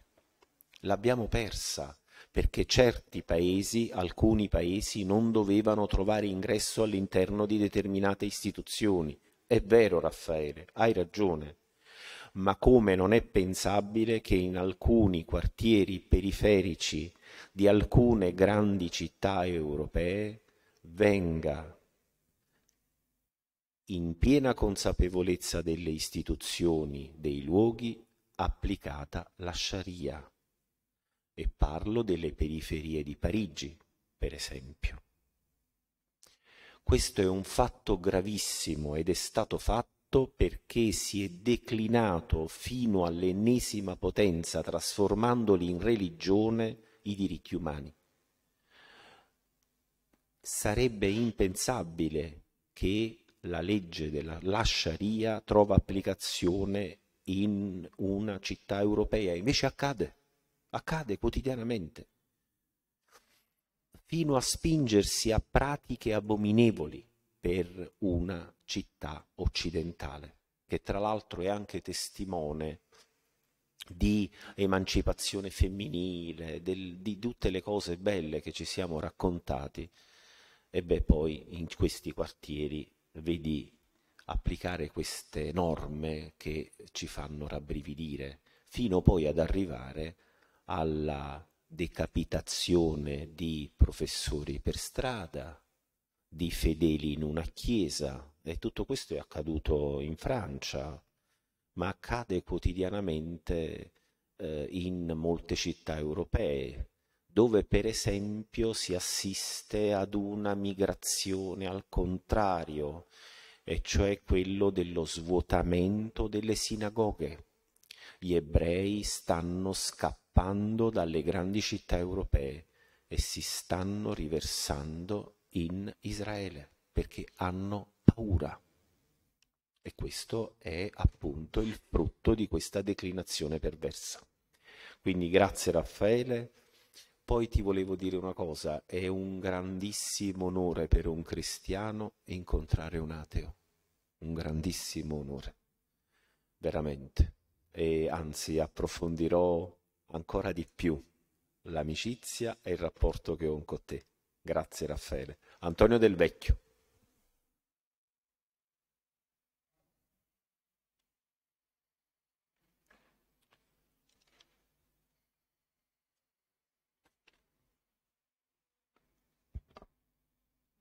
No, io più che un intervento mh, limiterò a qualche dei veri e propri asterischi, così per fissare qualche punto, un dibattito interessantissimo. Ci mancherebbe altro, ogni spirito libero aderisce e si schiera quando in una eh, tragica competizione c'è un potere costituito che fa olocausto della libertà e della vita umana e dall'altra parte chi invece eh, rivendica l'autodeterminazione e la libertà vuole la democrazia. Io però penso che eh, ho ascoltato con grande attenzione tutti gli interessi, tutti gli interventi, è evidente che noi siamo ad uno snodo della storia nella quale la democrazia e le libertà proprio come organizzazione geopolitica planetaria, non possono più coesistere con le autocrazie e con le dittature. Si faceva riferimento all'ipocrisia dell'ONU e degli organismi internazionali. Quella è una realpolitik all'interno della quale, nel tentativo di preservare un ordine che nella prospettiva delle democrazie occidentali è una pace all'interno dei propri confini o comunque nelle regioni geografiche molto prossime ai propri confini, si tenta, come dire, di bilanciare, si fa esercizio di ipocrisia e si riconosce agli autocrati e ai dittatori la legittimazione della rappresentanza di un popolo, quindi il riconoscimento di fatto di stati che eh, invece non praticano la, la, la stessa ehm, affermazione della, de, dei principi di libertà e di democrazia. Siamo arrivati a un momento nel quale probabilmente i sommovimenti della storia ci pongono di fronte alla necessità di ripensare nuovi equilibri. L'invasione dell'Ucraina che sembra essere dire, un, uno spaccato di politica arcaica che si incunia nella modernità. Chi avrebbe potuto pensare che di punto in bianco nel cuore dell'Europa eh, ci poteva essere una guerra che addirittura fosse tale, riconosciuta come tale dalla comunità internazionale, quindi ben oltre le varie annessioni e le scaramucce belliche che l'avevano preceduto, mi riferisco alla Crimea. Oggi quello che accade in Iran è un'opportunità complessiva per l'Occidente di dare a ragione una spallata ad un regime autocratico, dittatoriale, teocratico che costituisce lo scacchiere antagonista rispetto alle democrazie, alle democrazie liberali la caduta, come tutti quanti noi auspichiamo, del regime di Teheran indebolisce l'internazionale illiberale che, che è oggi, come dire, incompatibile con la nostra modernità. Quali siano le ricette e le modalità per arrivare a questo? Noi non lo sappiamo, perché tutto è in divenire, soltanto, voglio dire, una visione che, approssimativa ci può consentire di declinare il verbo della perfezione delle nostre democrazie che possono in qualche modo costituire un modello di riferimento. Lo sono senz'altro per quanto riguarda l'elaborazione culturale che, sta, che soggiace alla costruzione dei nostri stati, però all'interno delle nostre democrazie si vive una crisi fortissima le istituzioni sovranazionali che dovrebbero costituire il baluardo, proprio l'epitome della cultura liberale e democratica, l'UE, sono attraversate e scosse da situazioni che ne minano la credibilità. E allora tutto è in divenire, tutto è, come dire, un, un, un sobbollire che ci condurrà verso un ordine geopolitico nuovo. E allora quale dovrebbe essere, secondo me, la, non, non una dimenticanza, ma una presa di coscienza, sapendo bene che questa battaglia non è soltanto una battaglia che si combatte all'interno di, di stati o di confini distanti da noi, ma è una, eh, un sommovimento che parte e che attraversa anche le nostre società è qualcosa che ci riguarda molto da vicino e, come dire, appartiene a quel codice fondante di una nuova democrazia. Io ho ascoltato per quello che era possibile fare con la distrazione del momento il complicatissimo intervento del, del uh, complicatissimo intervento, complicatissimo in, intervento del, del professore eh, di filosofia, però credo veramente che oggi vada ricercata la legittimità fondativa dei nostri atti che diversamente corrono il rischio di,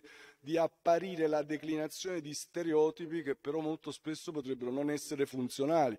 Dirsi tutti quanti fra gli applausi democratici e liberali quando elementi sintomatici depongono per una sostanziale chiusura delle nostre società non è come dire una ricetta che ci aiuta a confrontarci con questo segmento di modernità e con quello che sta accadendo negli altri paesi. Dobbiamo un po' dismettere la presunzione di essere l'esempio, ripensare noi stessi. Abbiamo anche noi molta strada da percorrere per la costruzione, per l'implementazione di quelle architetture istituzionali che furono pensate dai nostri padri costituzionali, dai nostri padri fondatori della, e coloro i quali diedero vita alla nostra Carta Costituzionale, ma che per tanti aspetti nella Costituzione materiale non hanno trovato quella eh, applicazione, quell'esercizio e quella vita che tutti quanti noi auspicavamo. È dunque un momento di grande transizione. Possono essere, quali possono essere gli approcci? Io ho soltanto un pensiero con il quale mi congedo perché altrimenti che eh, il regime degli ayatollah, come tutti i regimi autocratici, dittatoriali, questo con l'aggravante di, di fondare in una particolare visione mistica il, l'organizzazione della vita degli uomini, quindi un regime teocratico. Io penso che questi regimi abbiano, tra virgolette, i, i, i giorni contati, gli anni, qualcuno potrebbe dire i secoli, ma sono delle istituzioni destinate a collassare. Perché? Perché non compatibili con la modernità così come Cartesio l'ha immaginato e così come noi abbiamo tentato di inverarlo. Noi da un nostro versante occidentale dobbiamo tentare di migliorarci. Questi regimi cadranno e nella prospettiva della costruzione di un nuovo ordine mondiale, io non lo so se eh, possiamo reperire nel nostro armamentario culturale una ricetta già precostituita, forse un valore lo possiamo rintracciare che è l'unico elemento di discriminazione rispetto a chi il linguaggio della libertà e della democrazia o, come dire, non lo vuole assolutamente declinare o lo parla male e che dobbiamo assumere finalmente il principio, anche noi, anche coloro i quali sono impegnati nella battaglia della quotidiana, anche dell'esercizio della professione, magistrati, avvocati, tentare di rendere compatibile il proprio operato con un principio, che l'uomo non può essere il mezzo di alcun fine, ma è un fine in sé. Se tutti quanti noi, come dire, facciamo una battaglia sostenendo il popolo iraniano, sostenendo il popolo ucraino, sostenendo noi stessi verso un moto di liberazione attraverso l'affermazione di questo principio, Secondo me l'ordine geopolitico che nascerà sarà migliore di quello che ci lasciamo alle spalle e che inevitabilmente cambierà da qui a qualche tempo. Grazie. Allora, parlavamo prima no, di, di dignità, ne abbiamo parlato tanto, poi abbiamo parlato di amicizia, e poi è importante perché un altro elemento che fa da collante no, in questa occasione è la stima. E sono di quei valori che poi in qualche modo ci ricollegano anche al discorso che faceva Vincenzo in prota, quello del merito. Perché, come vedete, c'è un filo conduttore che lega gli esseri umani e quelli che credono in determinati valori e soprattutto quelli che possono declinare questi valori con libertà. E allora siccome io sono libero, oltre ad aver avuto la fortuna di poter organizzare questo evento, mi prendo la libertà di affidare le conclusioni di questo evento ad una persona alla quale mi sono legato molto, ma che stimo moltissimo, e che è Aldo Franceschini.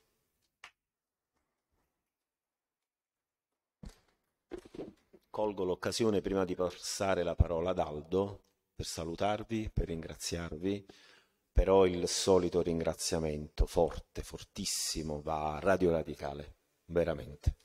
Grazie, grazie, grazie. Addirittura mi lasci solo. Buonasera a tutti. Eh, caro Alessandro, ti dico subito che i, i, miei sentimenti nei tuoi confronti questa serata, in queste due ore, hanno avuto un, un andamento ondivago e ti spiego perché. Dopo aver ascoltato i, l'introduzione dell'avvocato in prota e i tre interventi, mi sono chiesto, ma seriamente, perché mi avessi invitato eh, a partecipare a questa iniziativa, al di là del, eh, dell'assoluta condivisione e della gioia ecco, di eh, essere presente non solo come Aldo Franceschini, ma anche in rappresentanza dell'associazione Calamandrei. Poi ti ho eh, ascoltato parlare di amicizia e ho capito quale fosse, diciamo, il titolo che potesse in qualche modo legittimare eh, un mio intervento.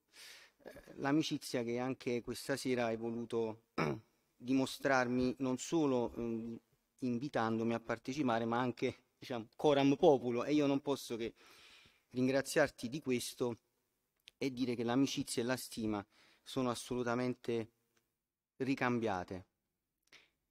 Poi ho ascoltato gli interventi programmati E lì ho iniziato addirittura a dubitare della tua amicizia nei miei confronti perché eh, eh, sono stati tutti interventi eh, davvero ricchi di, di, di, riflessioni intelligenti, appropriate e mm, anche molto appassionati.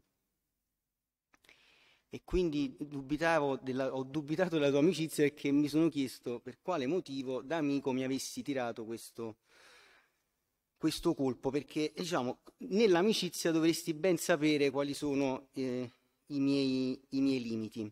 Comunque scherzi a parte, tu mi hai anche gravato del, eh, del compito eh, di, di accome, accomiatarmi da, da, tutti e diciamo, di, di chiudere eh, l'incontro di questa sera.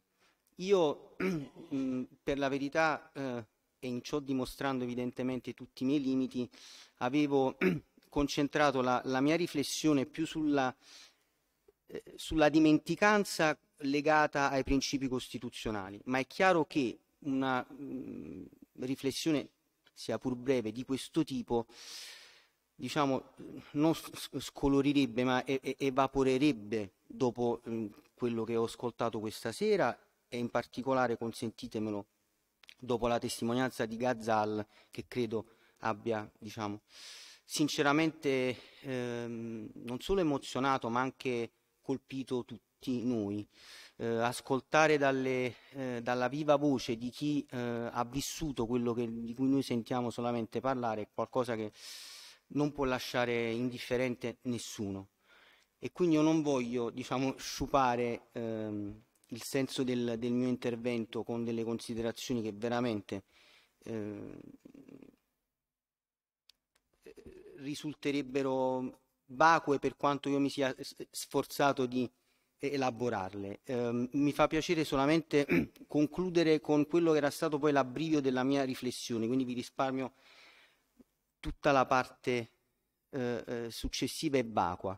Eh, quando Alessandro mi ha ehm, parlato di questa sua iniziativa e mi ha eh, indicato il titolo, io ho avuto già, ma me ne sarei dovuto rendere conto, ecco all'epoca, ho avuto una, una perplessità perché era un titolo davvero impegnativo e eh, sono partito da un'operazione molto semplice, cioè sono andato a, a cercare sul vocabolario, su Treccani online, dimenticanza, che cosa significa.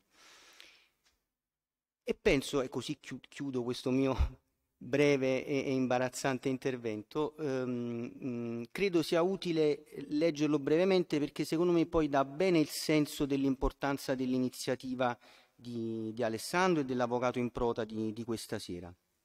Leggo. Definizione Treccani online, quindi facilmente accessibile. Dimenticanza il fatto di dimenticare, d'aver dimenticato, non in se stesso, ma in quanto ha come conseguenza che si ometta o si trascuri qualche cosa. E quindi secondo me la dimenticanza ha in sé una componente di inerzia che le dà poi un significato semanticamente più pregnante. E se questa è dimenticanza, mi pare fin troppo, diciamo, banale poter eh, considerare che l'iniziativa eh, di, di, Alessandro e dell'avvocato in prota di, di, questa sera sia qualcosa che sia eh, concettualmente oppositivo alla dimenticanza. È una iniziativa, è un'azione per evitare che veniamo diciamo, fagocitati dalla dimenticanza su temi e su cose così importanti questo è quello che sentivo di dire. Grazie ancora ad Alessandro, l'avvocato in prota, per, per l'iniziativa e mi sento più ricco.